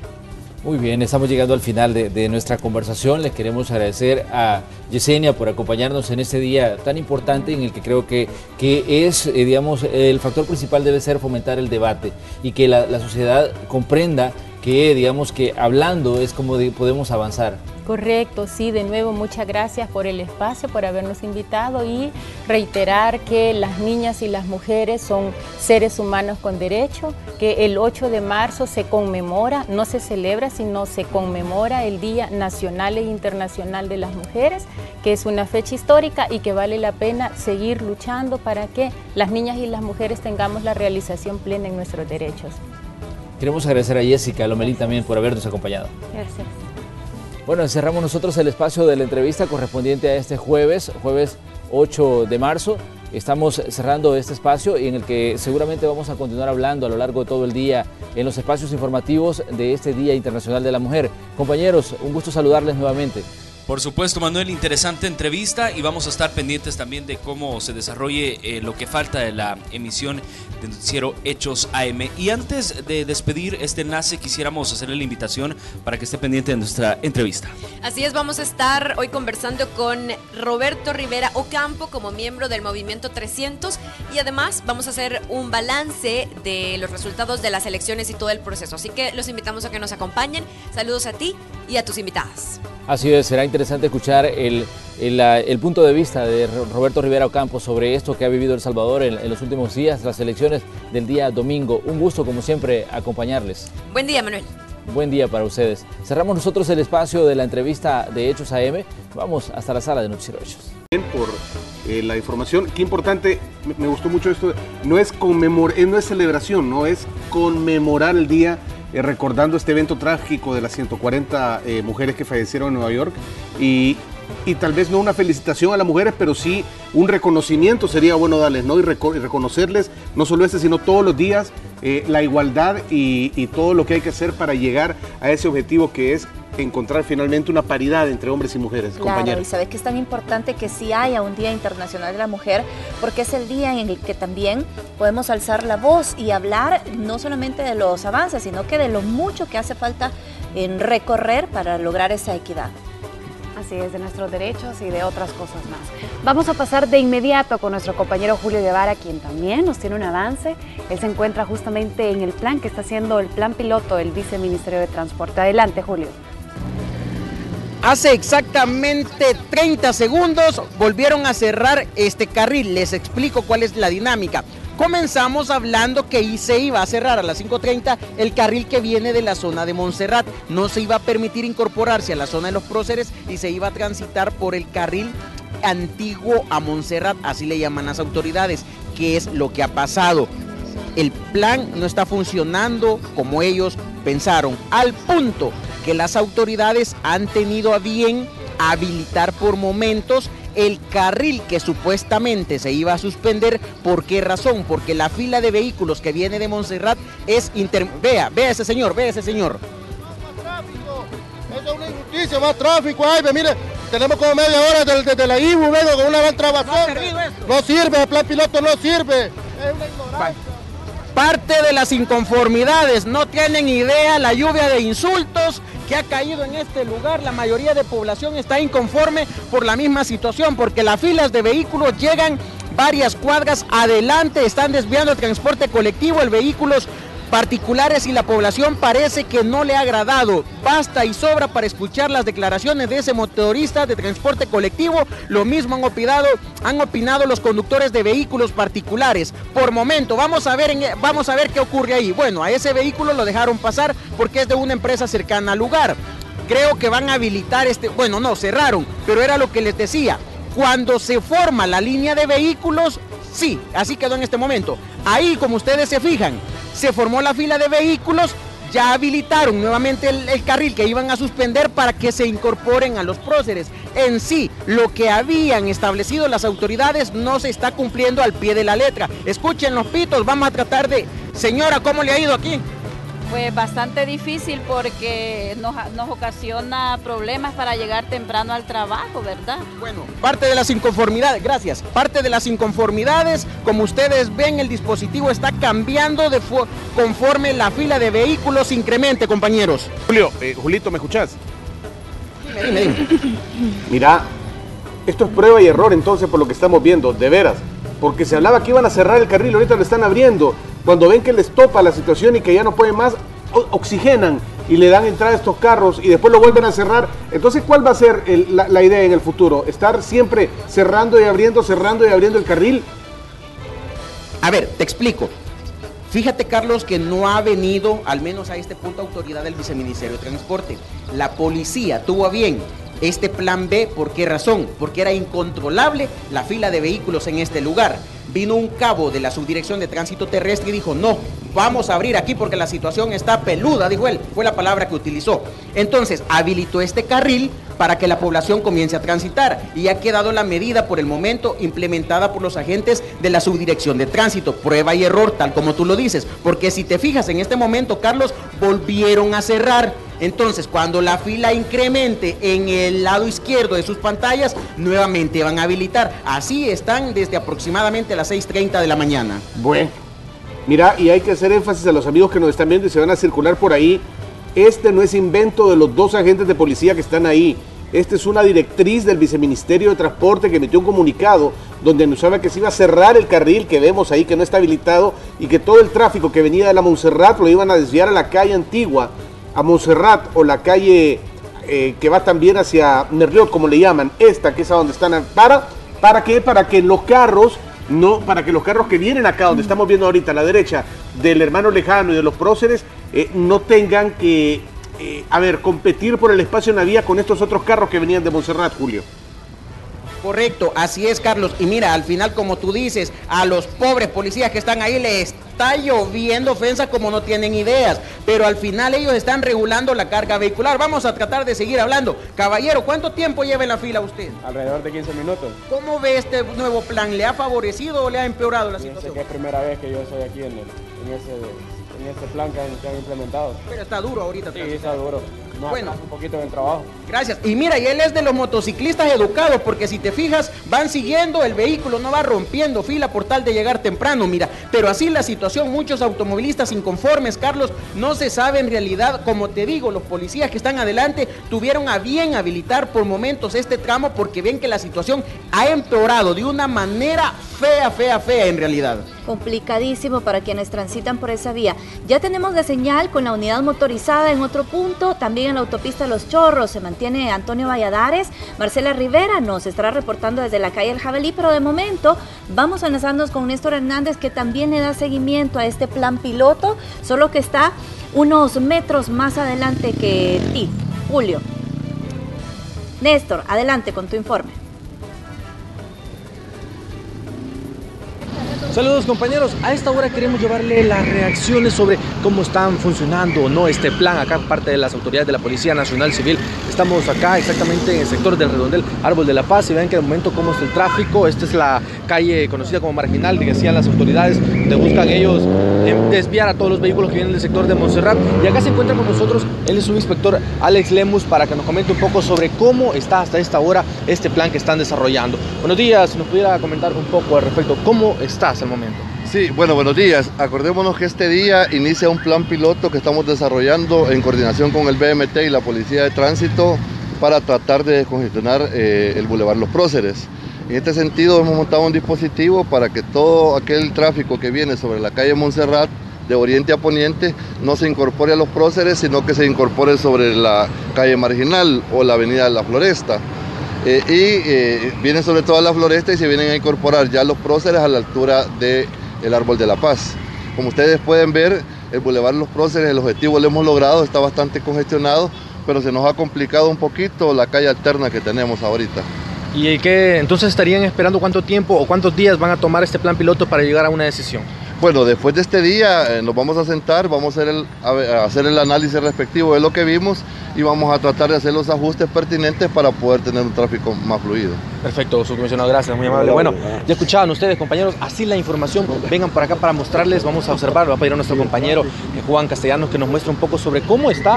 Vean, esta calle, acá está la policía de tránsito a esta hora de la mañana, tratando la manera de aligerar el paso acá, sobre todo porque en la parada de autobuses que les mencionaba desde muy temprano, hay decenas de personas esperando sus unidades de transporte, tardan un poco en subir y ahí es donde se acumulan los vehículos. El árbol de la paz hasta esta hora, pues ahí se puede observar. Vamos a desplazarnos también para mostrarles un poquito que también se encuentra bastante, bastante eh, complicado cuando nosotros estamos todavía en horas de mucho tráfico vehicular, estamos hablando de hora pico, buscando cada quien su trabajo y su lugar de estudio también. Pero así la información, compañeros, para que lo tomen en cuenta lo que les mencionaba también el subcomisionado. El sector del Boulevard de los Próceres se ve al menos a esta altura bastante libre en este paso de desnivel y el sector del Árbol de la Paz sí se ve bastante complicado en ese sector donde vienen a, a convergen todos los vehículos que llegan del sector de la calle Marginal. Así que ese es el reporte que les tengo, compañeros. Regreso con ustedes hasta el estudio principal de Noticiero Hechos. Muy bien, muchísimas gracias Néstor Hernández por el informe. Ahí vimos que se encuentra totalmente congestionado el tráfico por el Boulevard de los Próceres. Y esta es la imagen del dron también de cómo luce el panorama. Alcanzamos a ver justo los vehículos en la parte subterránea, que son los que tienen que incorporarse después también por, esta, eh, por este nuevo dispositivo en la calle, a la calle antigua, a Montserrat. Y ahí está el desvío, justo ahí está, mira, en medio los policías desviando nadie circulando por el carril que viene del túnel de la derecha, sino que todos al carril de la izquierda, donde alcanzamos a ver que en realidad es el carril derecho, ¿no? A donde los están desviando. Y luce más fluido, eso sí hay que decir también, los carros que vienen del Hermano Lejano y de la Montserrat, en del, del, lado derecho de su pantalla. Esto es lo que nos está reflejando este plan. Ahí está Julio, adelante, contanos. Ahí tenés el dron, Julito. Así es, esa imagen nos muestra un panorama diferente y era la inconformidad de las personas. Vean ustedes las largas filas de vehículos, imágenes que estamos grabando con nuestro dron. En realidad, mira, acá son dos puntos, porque el objetivo de las autoridades era desahogar los próceres. Si ustedes se fijan, la imagen que viene el tráfico, que viene de la 49, en realidad al menos en este momento está libre, pero es por momentos, en cuestión de minutos, porque después cuando la fila que ustedes tienen a la izquierda, que viene de Montserrat, colapsa, es ahí donde los policías quitan los tres conos que ustedes ven, habilitan nuevamente y vuelve a empeorar la situación en la zona de los próceres. En realidad están minutos los próceres, minutos la calle antigua. Así están en este momento, Carlos. Ahí ve en este momento cómo está la situación. Imágenes vía dron, complicadísimo. La población está enojada. Ya escucharon las ofensas de motoristas de buses, microbuses, población en general que está inconforme con este plan, sobre todo porque las autoridades avisaron ayer en horas de la tarde. Sí, es que está comprobado, Julio, y a ver si nos están escuchando los buenos amigos allá del viceministerio, que no podés desafectar una arteria sin evitar afectar otra. Y aquí están siendo afectados todos los automovilistas, el servicio de transporte público y demás que viene de la colonia Montserrat. Está comprobado ya, es un hecho. Carlos, y a esto agrégale que la calle donde están desviando la carga vehicular está en mal estado para comenzar. Tiene que transitar despacio y es estrecha, creo que tú ya has hecho uso de ella, es estrecha esta calle y a eso agrégale que cuando va llegando a la zona del Árbol de la Paz es una de las principales paradas de autobuses urbanos, entonces todo esto viene a empeorar la situación. ¿Te imaginas hasta dónde está llegando? Bueno, ahí estamos viendo ahora imágenes que tenemos eh, vía cámara ahí la situación es completamente diferente y vuelvo a lo mismo. Los próceres sí, se ha logrado en este momento. Justo lo que querían las autoridades era eso, que los vehículos que se incorporan de Rancho Navarra y de la 49 fueran rectos sin ningún impedimento, pero de todo lo contrario está ocurriendo en el otro lado. Ahí han desviado la mayor carga vehicular en un lado pequeño y es ahí donde la inconformidad de la población está a flor de piel en este momento. Claro, y lo manifiestan ahí. Hay que reiterar lo que tú ya nos mencionabas, Julio. Estas dos personas que se mantienen trabajando en el lugar obviamente han recibido las instrucciones, están tratando de que el tráfico fluya. Así que bueno, el llamado también para los automovilistas, evitar, ¿verdad?, las ofensas ahí en el lugar. Gracias, Julio. Vamos a continuación con la unidad, la unidad motorizada. Gerardo Borges, entonces. Unidad motorizada, adelante. Gracias, Carlos. Pues te comento que me encuentro en la Quinta Avenida Norte, en el sentido que viene del redondel Don Rúa, buscando el parque infantil. En este momento vamos a iniciar un recorrido de otro panorama diferente donde la carga vehicular ya de momento ya disminuyó en este punto, ya no se torna tan complicada como hace unos minutos atrás. Como ustedes saben, el tráfico es bastante variante. De momento, pues se genera carga vehicular, hay puntos donde ya no hay tráfico y hay puntos donde se vuelve a generar. Y precisamente lo que hablamos ya en este sector. Bueno, perdemos el contacto, Gerardo, contigo. Eh, ya vamos a enlazarnos eh, en breve con tu, con tu señal. Bien, vamos ahora con Antonio Valladares entonces, compañeros, amigos televidentes. Antonio, adelante.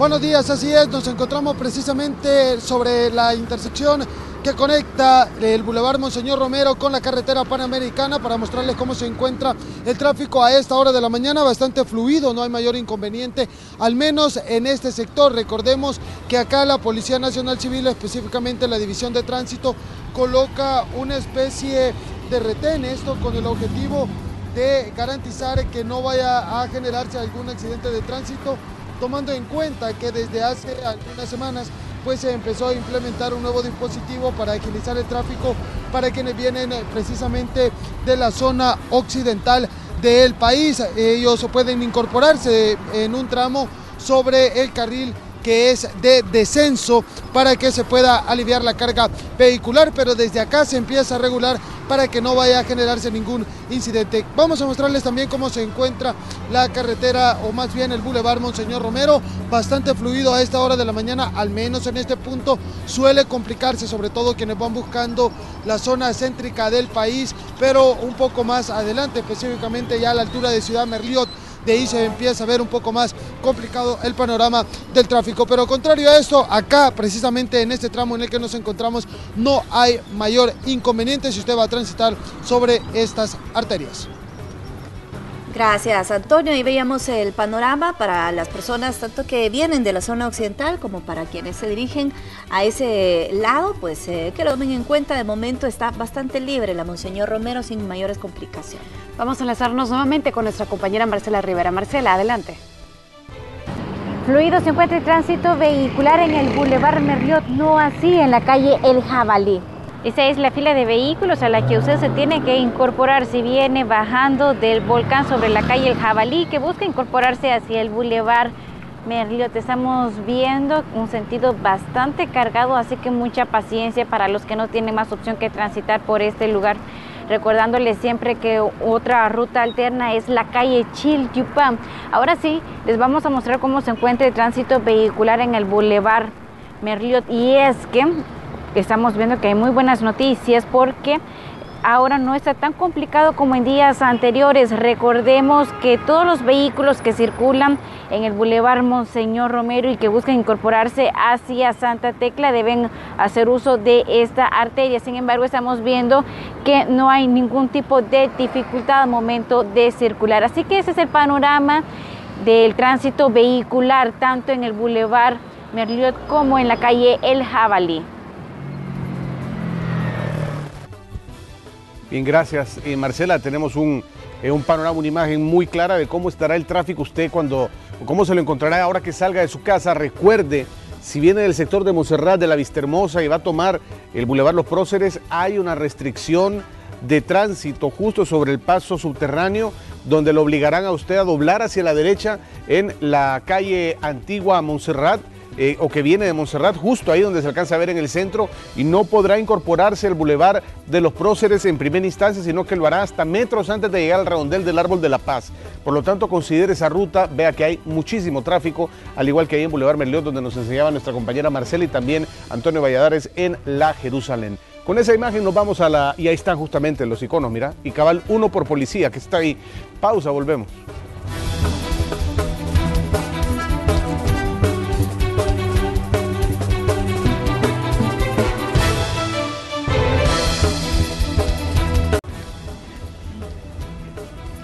Bien, Gerardo Borja, te saludamos. Contanos dónde te encontrás. Gracias, Carlos, compañeros. Pues les comento que ya nos trasladamos hoy a la primera calle Poniente en el sentido que nos lleva a la 25 Avenida para que ustedes tengan un panorama que también en este punto hay una carga vehicular bastante considerable. Como referencia, cerca de una universidad privada que se encuentra en este lugar, es donde estamos eh, iniciando y haciendo un recorrido, compañeros. Bueno, eh, pues nada que reportar, ¿no? Gerardo, digo, en cuanto a, aparte del tráfico, eh, no tenemos que reportar accidentes en este sector. Pues de momento lo que llevo de recorrido, Carlos, solo te comento de que eso es debido al tráfico vehicular que se genera en la zona. No hay ningún reporte, por lo menos de momento, de algún accidente que esté obstruyendo el paso vehicular en el sentido que nos lleva a la 25 Avenida. Bueno, y los buses también, que por suerte los vemos cargados nada más del lado derecho, ¿no? Parece que están, eh, parece que están acatando esta norma de mantenerse en ese carril, Gerardo. Precisamente la mayoría te comento de que sí lo están haciendo, por lo menos en este sector, de conducirse en el carril derecho y el carril izquierdo, pues utilizarlo nada más para poder rebasar. Lamentablemente lo que complica algunas veces es este tipo de vehículos, así como que ustedes vieron un color blanco detenido en un eje preferencial, pues complica algunas veces eh, que el tráfico vehicular sea un poco más fluido. Claro, y sobre la primera, ese edificio que ustedes ven ahí a la izquierda es el Hospital Bautista. Ahí estamos ya llegando a la zona de la 25, donde está a la izquierda el Hospital Rosales. ¿Es cierto o no es cierto esto, Gerardo? Es correcto, Carlos. es cierto lo que tú dices. Muy Hospital bien ubicado. Sí, mira, semáforo rojo ahorita eh, por ahí está la calle Arce también, a tu izquierda me parece. Eh, la Universidad Tecnológica se encuentra por ahí también, ¿no, Gerardo? Es correcto. Ahí estamos Precisamente nos encontramos ubicados en el semáforo de la 21 calle Poniente y 21 Avenida Norte. Para que tengan mayor referencia, andamos prácticamente en el mero centro de San Salvador, donde es complicado, la verdad, circular algunas veces. Pues sí, bastante presencia eh, de peatones en el sector y sobre todo la mayoría de estos peatones, Gerardo, son eh, población estudiantil, son estudiantes que se encuentran ahí. Mira, este, este se lo tiró antes de que se pusiera en verde, o me equivoco, porque no, no vi el cambio, tú me dirás ahí. El semáforo en verde. Se claro, se fue. Bueno, cruzó el semáforo rojo.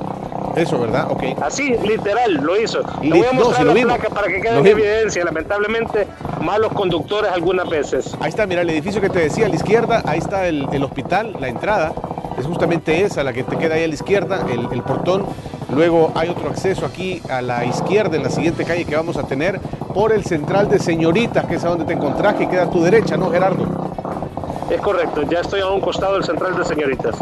Muy bien, entonces ahí estamos ya, creo que la referencia y la ubicación es eh, inmejorable para que todos se hagan una idea de dónde nos hemos trasladado con unidad motorizada sobre la primera calle poniente a la altura del Central de Señoritas, pasando el Hospital Bautista, a punto de cruzar la 25 Avenida Norte, justo donde está el semáforo, que si doblas a la izquierda te conduce hacia el Hospital Rosales o a la derecha te conducirá también hacia la Tutunichapa, hacia la Fuente Luminosa y demás, lugar donde suele congestionarse muchísimo el tráfico a toda hora, no solo a esta en realidad.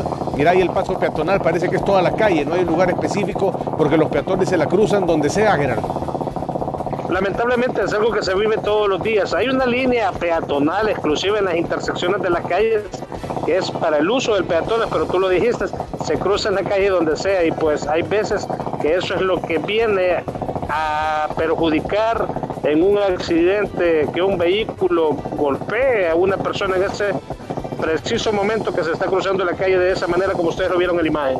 Bien, eh, ya, ya, dentro de poco cambiará la luz, Gerardo. Deseamos que tengas un recorrido seguro, un eh, recorrido sin mayores inconvenientes. Te dará el verde. No sé si, contanos qué vas a hacer. ¿Te vas a incorporar a la izquierda, a la 25, o vas a seguir recto sobre la primera? Nos vamos a incorporar a la 25 para también constatar y seguir manteniéndonos en las calles para ver cómo se mantiene la carga vehicular y pues si encontramos, encontramos algún otro incidente o algo que reportar, nos estaremos enlazando con ustedes nuevamente. Un saludo, gracias Gerardo. Gracias a ustedes. Por qué no decirlo, porque estaba la noticia de la canonización del de, el beato Oscar Arnulfo Romero en los periódicos y en las agencias de noticias de todas partes del planeta. Así estaba en Reuters, estaba en CNN, estaba en periódicos británicos, estaba en periódicos españoles, para que digamos o dimensionemos la trascendencia de la figura de Romero eh, a, nivel, a nivel del catolicismo a nivel mundial. Y ya le presentamos lo que ocurrió ayer en horas de la tarde, pero también le contamos que más temprano llegaron decenas de jóvenes estudiantes hasta el Hospital Divina Providencia de San Salvador en una procesión entre alabanzas y júbilo y participaron de una Eucaristía en acción de gracias por la aceptación del milagro de Monseñor Romero que lo llevará a la canonización. Varios turistas también aprovecharon para recorrer la habitación donde recibió Romero antes de ser asesinado en la capilla del lugar un 24 de marzo de 1980.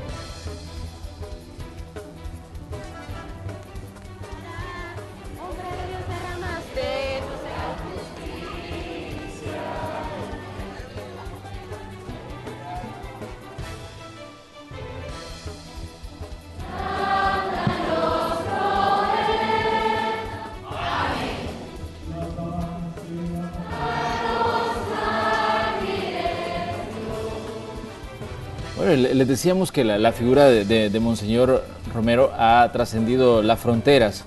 Se habla de él en periódicos en inglés, se habla de él en periódicos en español, se habla de él en, medio de todas partes del planeta. Y esta es la, figura que está en la abadía de Westminster, en el Reino Unido, y que nos muestra también la, digamos, cómo trasciende la imagen del Beato y el que se va a convertir próximamente en santo. Sí, bueno, recordemos también Continuamos con más información. Caracterizar a la mujer salvadoreña no es tan fácil como parece. Sin embargo, hay cualidades que se destacan y que son reconocidas en la sociedad como ser, entre otras, una mujer trabajadora y luchadora. De esto vamos a estar hablando en nuestro tema del día. Históricamente, la mujer en El Salvador ha desempeñado un papel fundamental para el desarrollo de la sociedad, que pocas veces se le ha reconocido se le ha caracterizado como una mujer luchadora, trabajadora en lo social, cultural, político y económico. Es una creadora de cultura desde que es madre y en sus primeras etapas forma el carácter del hijo, que después se desarrolla en la familia y en la sociedad. A través del tiempo, su papel ha ido cambiando en la actividad social. Lo hemos visto a lo mejor a lo largo del tiempo, cómo ha ido también generando ciertos avances, porque tradicionalmente a lo mejor se nos asignaba toda la responsabilidad y la carga del cuidado de, del esposo, de los hijos, de las hijas, eh, pero se han dado pasos importantes, ¿verdad? En la actualidad, en lograr esa equidad e igualdad, ¿verdad? En condición, reconociéndonos que somos eh, iguales a los hombres. La mayoría de mujeres eh, son muy empoderadas, digamos, lo que pasa es que hay una serie de obstáculos que impiden, digamos, en sus vidas, pero son mujeres empoderadas, mujeres que, que eh, tienen eh, ese empuje, digamos, de, de salir adelante. La equidad e igualdad de derechos, su función dentro de la familia y la sociedad. La mujer salvadoreña ha tenido relevancia en los fundamentos de la base social incluso a costa de su propio sacrificio y autoatención. Toma tiempo para sí misma, que eso es muy importante. Muchas veces entre el cuidado de hijos e hijas, el trabajo, las mujeres nos olvidamos de nuestro propio autocuido y que eso es también un, elemento fundamental ¿verdad? Para cuidar de nuestra salud mental, de nuestro cuerpo. Eh, es un reto realmente grande, ¿verdad? El, el, distribuir el tiempo equitativo entre las múltiples tareas que a lo mejor pueda, pueda desempeñar trabajadora, emprendedora, creadora de cultura, forjadora de sentimientos son algunas de las características que se destacan en la mujer salvadoreña. Con imágenes de Alfredo López, Luis Alberto López, Noticiero Hechos. Bueno, ahí tenemos eh, algunas características importantes a la hora de hablar de la, mujer salvadoreña. Yo creo que es importante que resaltemos también que de acuerdo a las estadísticas que tenemos en El Salvador, muchas mujeres son cabeza de hogar y eso eh, hace que sobre sus hombros recaiga, digamos, una responsabilidad mucho mayor en el sentido de que son las proveedoras, que son además las educadoras de sus, de sus hijos y las responsables de que tengan salud, que tengan vivienda y que tengan educación. Eso eh, pone sobre sus hombros una carga que es gigantesca, pero que muchas mujeres la llevan y la llevan de, una forma muy valiente. Sí, de una forma espectacular, deberíamos de decir, porque toda la responsabilidad recae prácticamente sobre ellas. También queremos comentarle que consultamos con varios salvadoreños y tienen su opinión muy marcada sobre lo que caracteriza a la mujer salvadoreña. Estas son algunas de ellas, veamos.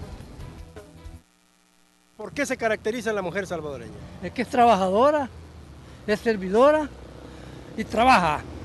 Y, está, y ahora me gusta porque está metida en ciertas oficinas del gobierno, están dando prioridad a la mujer. Es emprendedora, eh, somos mujeres responsables, sacamos adelante los hogares, eh, siendo madres solteras. Primeramente que son trabajadoras, esa es una de las cualidades que tiene la mujer, son aptas para poder trabajar, son luchadoras pues, y eso es eh, bastante bueno en la mujer. Muchas veces trabaja más la mujer que el hombre. La responsabilidad.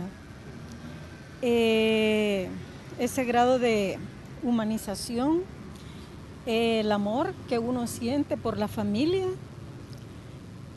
Para mí esas son este, quizás de las características principales. Bueno, y tenemos las, las opiniones de, de, los ciudadanos en la calle, pero también les vamos a mostrar algunos datos estadísticos relacionados a la actividad de la mujer. Según estudios realizados por la Dirección General de Estadísticas y Censos, las proyecciones de población para el año 2018 eh, en estas proyecciones hay 3.516.000 mujeres a nivel nacional y el promedio de edad es de 30 años. La participación laboral en comparación al hombre, la mujer ocupa un 47% y en cuanto a la jefatura de hogar en el área urbana, el hombre ocupa el 62% y la mujer el 38%, mientras en el área rural la jefatura de hogar, el hombre ocupa el 69.1% y la mujer el 30.9%. Son algunos de los datos estadísticos que indican parte de la participación de la mujer en la sociedad salvadoreña.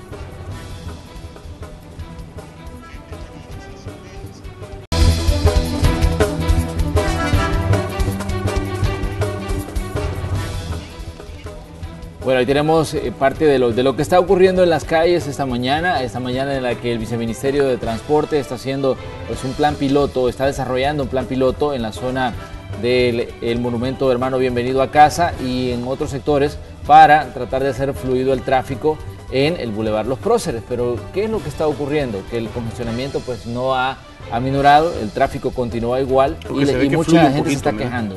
Fluye sí. un poquito más en el lado de la derecha, que es a donde se ha visto afectado por la incorporación de los vehículos que vienen de la Montserrat. A ver, al menos yo lo veo más fluido el de la derecha que el de la izquierda. El de la izquierda se ve que viene más lento, ¿no?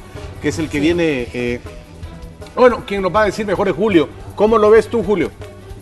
Así es, fíjense compañeros que ahí la situación ya es diferente porque estamos adelante de la zona del Árbol de la Paz, buscando la Manuela Enrique Araujo, por mencionar un punto de referencia. Aquí digamos que lo caótico ya pasó, Continúa el problema después del Árbol de la Paz y nos ubicamos viniendo de Occidente. Así está la carga vehicular en este momento. Imágenes en vivo, vía tal como lo están observando. Carga vehicular ya un poco favorable si usted transita de la zona de la 49 buscando la Monseñor Romero o la zona de la Manuel Enrique Araujo. Tal como tú lo dices, sigue complicado como es todos los días. En, bueno, en este caso sería ya en el carril derecho, que es en el de ingreso a San Salvador aunque en realidad complicado, pero ya está liberándose por la hora. Pero sí, compañeros del Árbol de la Paz, buscando el monumento, bienvenido a casa, la situación siempre está complicada. Vamos a ver qué dicen las autoridades antes de venirnos para el lugar donde nos encontramos. Platicábamos con un agente de la subdirección de tránsito él decía que qué lamentable que la gente como ofende en realidad, porque los ofendía como ni idea tienen ustedes y al fin y al cabo ellos están acatando una orden del viceministerio de transporte. Vamos a ver si este dispositivo va a continuar el día de mañana, pero sí, ya veíamos imágenes dron, ahora vamos a ver imágenes terrestres, así está la situación. Lo que tú decías, Carlos, el carril en este caso sería, bueno, el que está enfocando Alfredo López, es el que lleva la zona occidente, la Monseñor Romero o la Manuel Enrique Araujo, ya un poco liberado. El problema es en la zona del Árbol de la Paz. Y si usted va buscando el Árbol de la Paz, viene de Occidente, ahí sí, el delirio de todos los días. Lo complicado que es ingresar a San Salvador y no solo por los próceres, sino por diferentes arterias. Vamos a ver qué tal con este plan de las autoridades. Vamos a estar pendientes qué dicen para mañana. Julio, tú mencionabas que apenas se empieza a liberar un poco la carga vehicular en ese punto, pero también ya estamos a unos minutos de que finalice este plan piloto que se había dicho se iba a mantener hasta las 8.30. Así es, a las 8.30, pero recordemos, Célida, que al fin y al cabo el plan no se implementó como las autoridades habían dicho. Porque mira, estamos a unas cuadras del Árbol de la Paz. Justo cuando tú vienes del Árbol de la Paz, el paso a desnivel y ya ingresas a esta zona, la situación ya está un poco liberada. Sin embargo, allá en en la zona cero, digamos así, que es donde está el dispositivo, ahí la situación sí continúa complicada, pero a esto agreguémosle que ante el tráfico colapsado, las autoridades no lo cumplieron como el BMT había dicho, porque obligadamente quitaban los conos por momentos para que la carga vehicular se incorporara a los próceres tal como ha sido tradicionalmente. Así que vamos a ver qué tal, a las 8.30 sí se van los policías, la carga vehicular continúa, pero esto, ah bueno, y ojo, también esto, Celida, recordemos que para la tarde está el dispositivo, desde las 3.30 a las 8 de la noche. Vamos a ver si las autoridades a lo largo de este lapso de tiempo dan a conocer alguna nueva modalidad ante lo que ha ocurrido en horas de la mañana.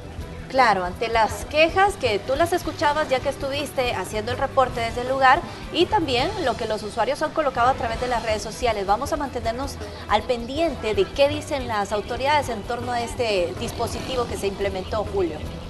Así es, porque quejas se queda cortito a lo que ha dicho la población en realidad, Célida. Muchas gracias por el reporte, Julio, por compartirnos esa información que eh, ha surgido en los últimos minutos.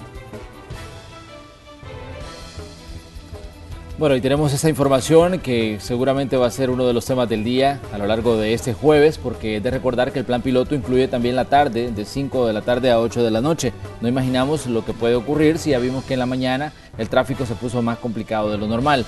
Pero pasemos a otros temas. Es jueves, día de nota académica académica por Marcela Rivera y es que actualmente el Instituto Técnico Exal ofrece 15 opciones de bachilleratos. Entre los más demandados se encuentra el técnico en automotriz y el mantenimiento aeronáutico.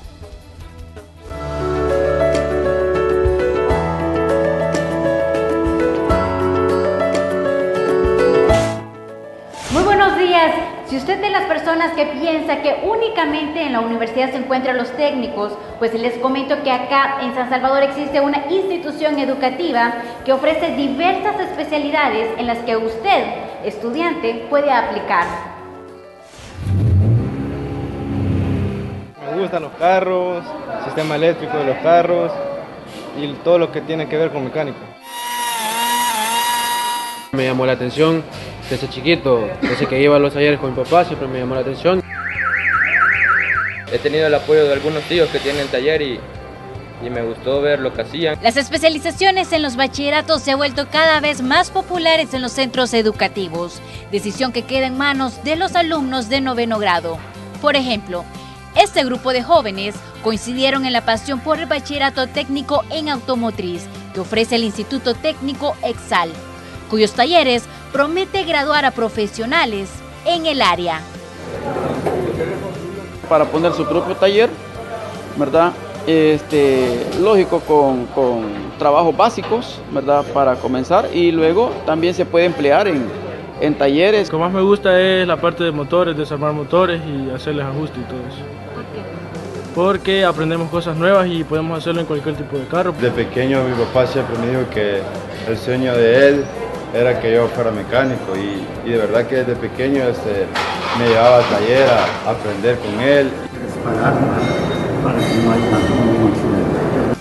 El esquema que algunos trabajos o estudios son considerados para hombres se va rompiendo cada vez más con la participación de mujeres en las diferentes áreas de la mecánica y aeronáutica, que demuestran no solo su capacidad, sino también sus aspiraciones. Una de las carreras que abre paso en el ámbito laboral para desarrollarse como joven emprendedor de este país. Esta carrera eh, abre muchas oportunidades a nivel nacional, eh, al igual que internacionalmente. Eh, me llenó esto de esta emoción de estudiarlo porque así aprende muchas cosas.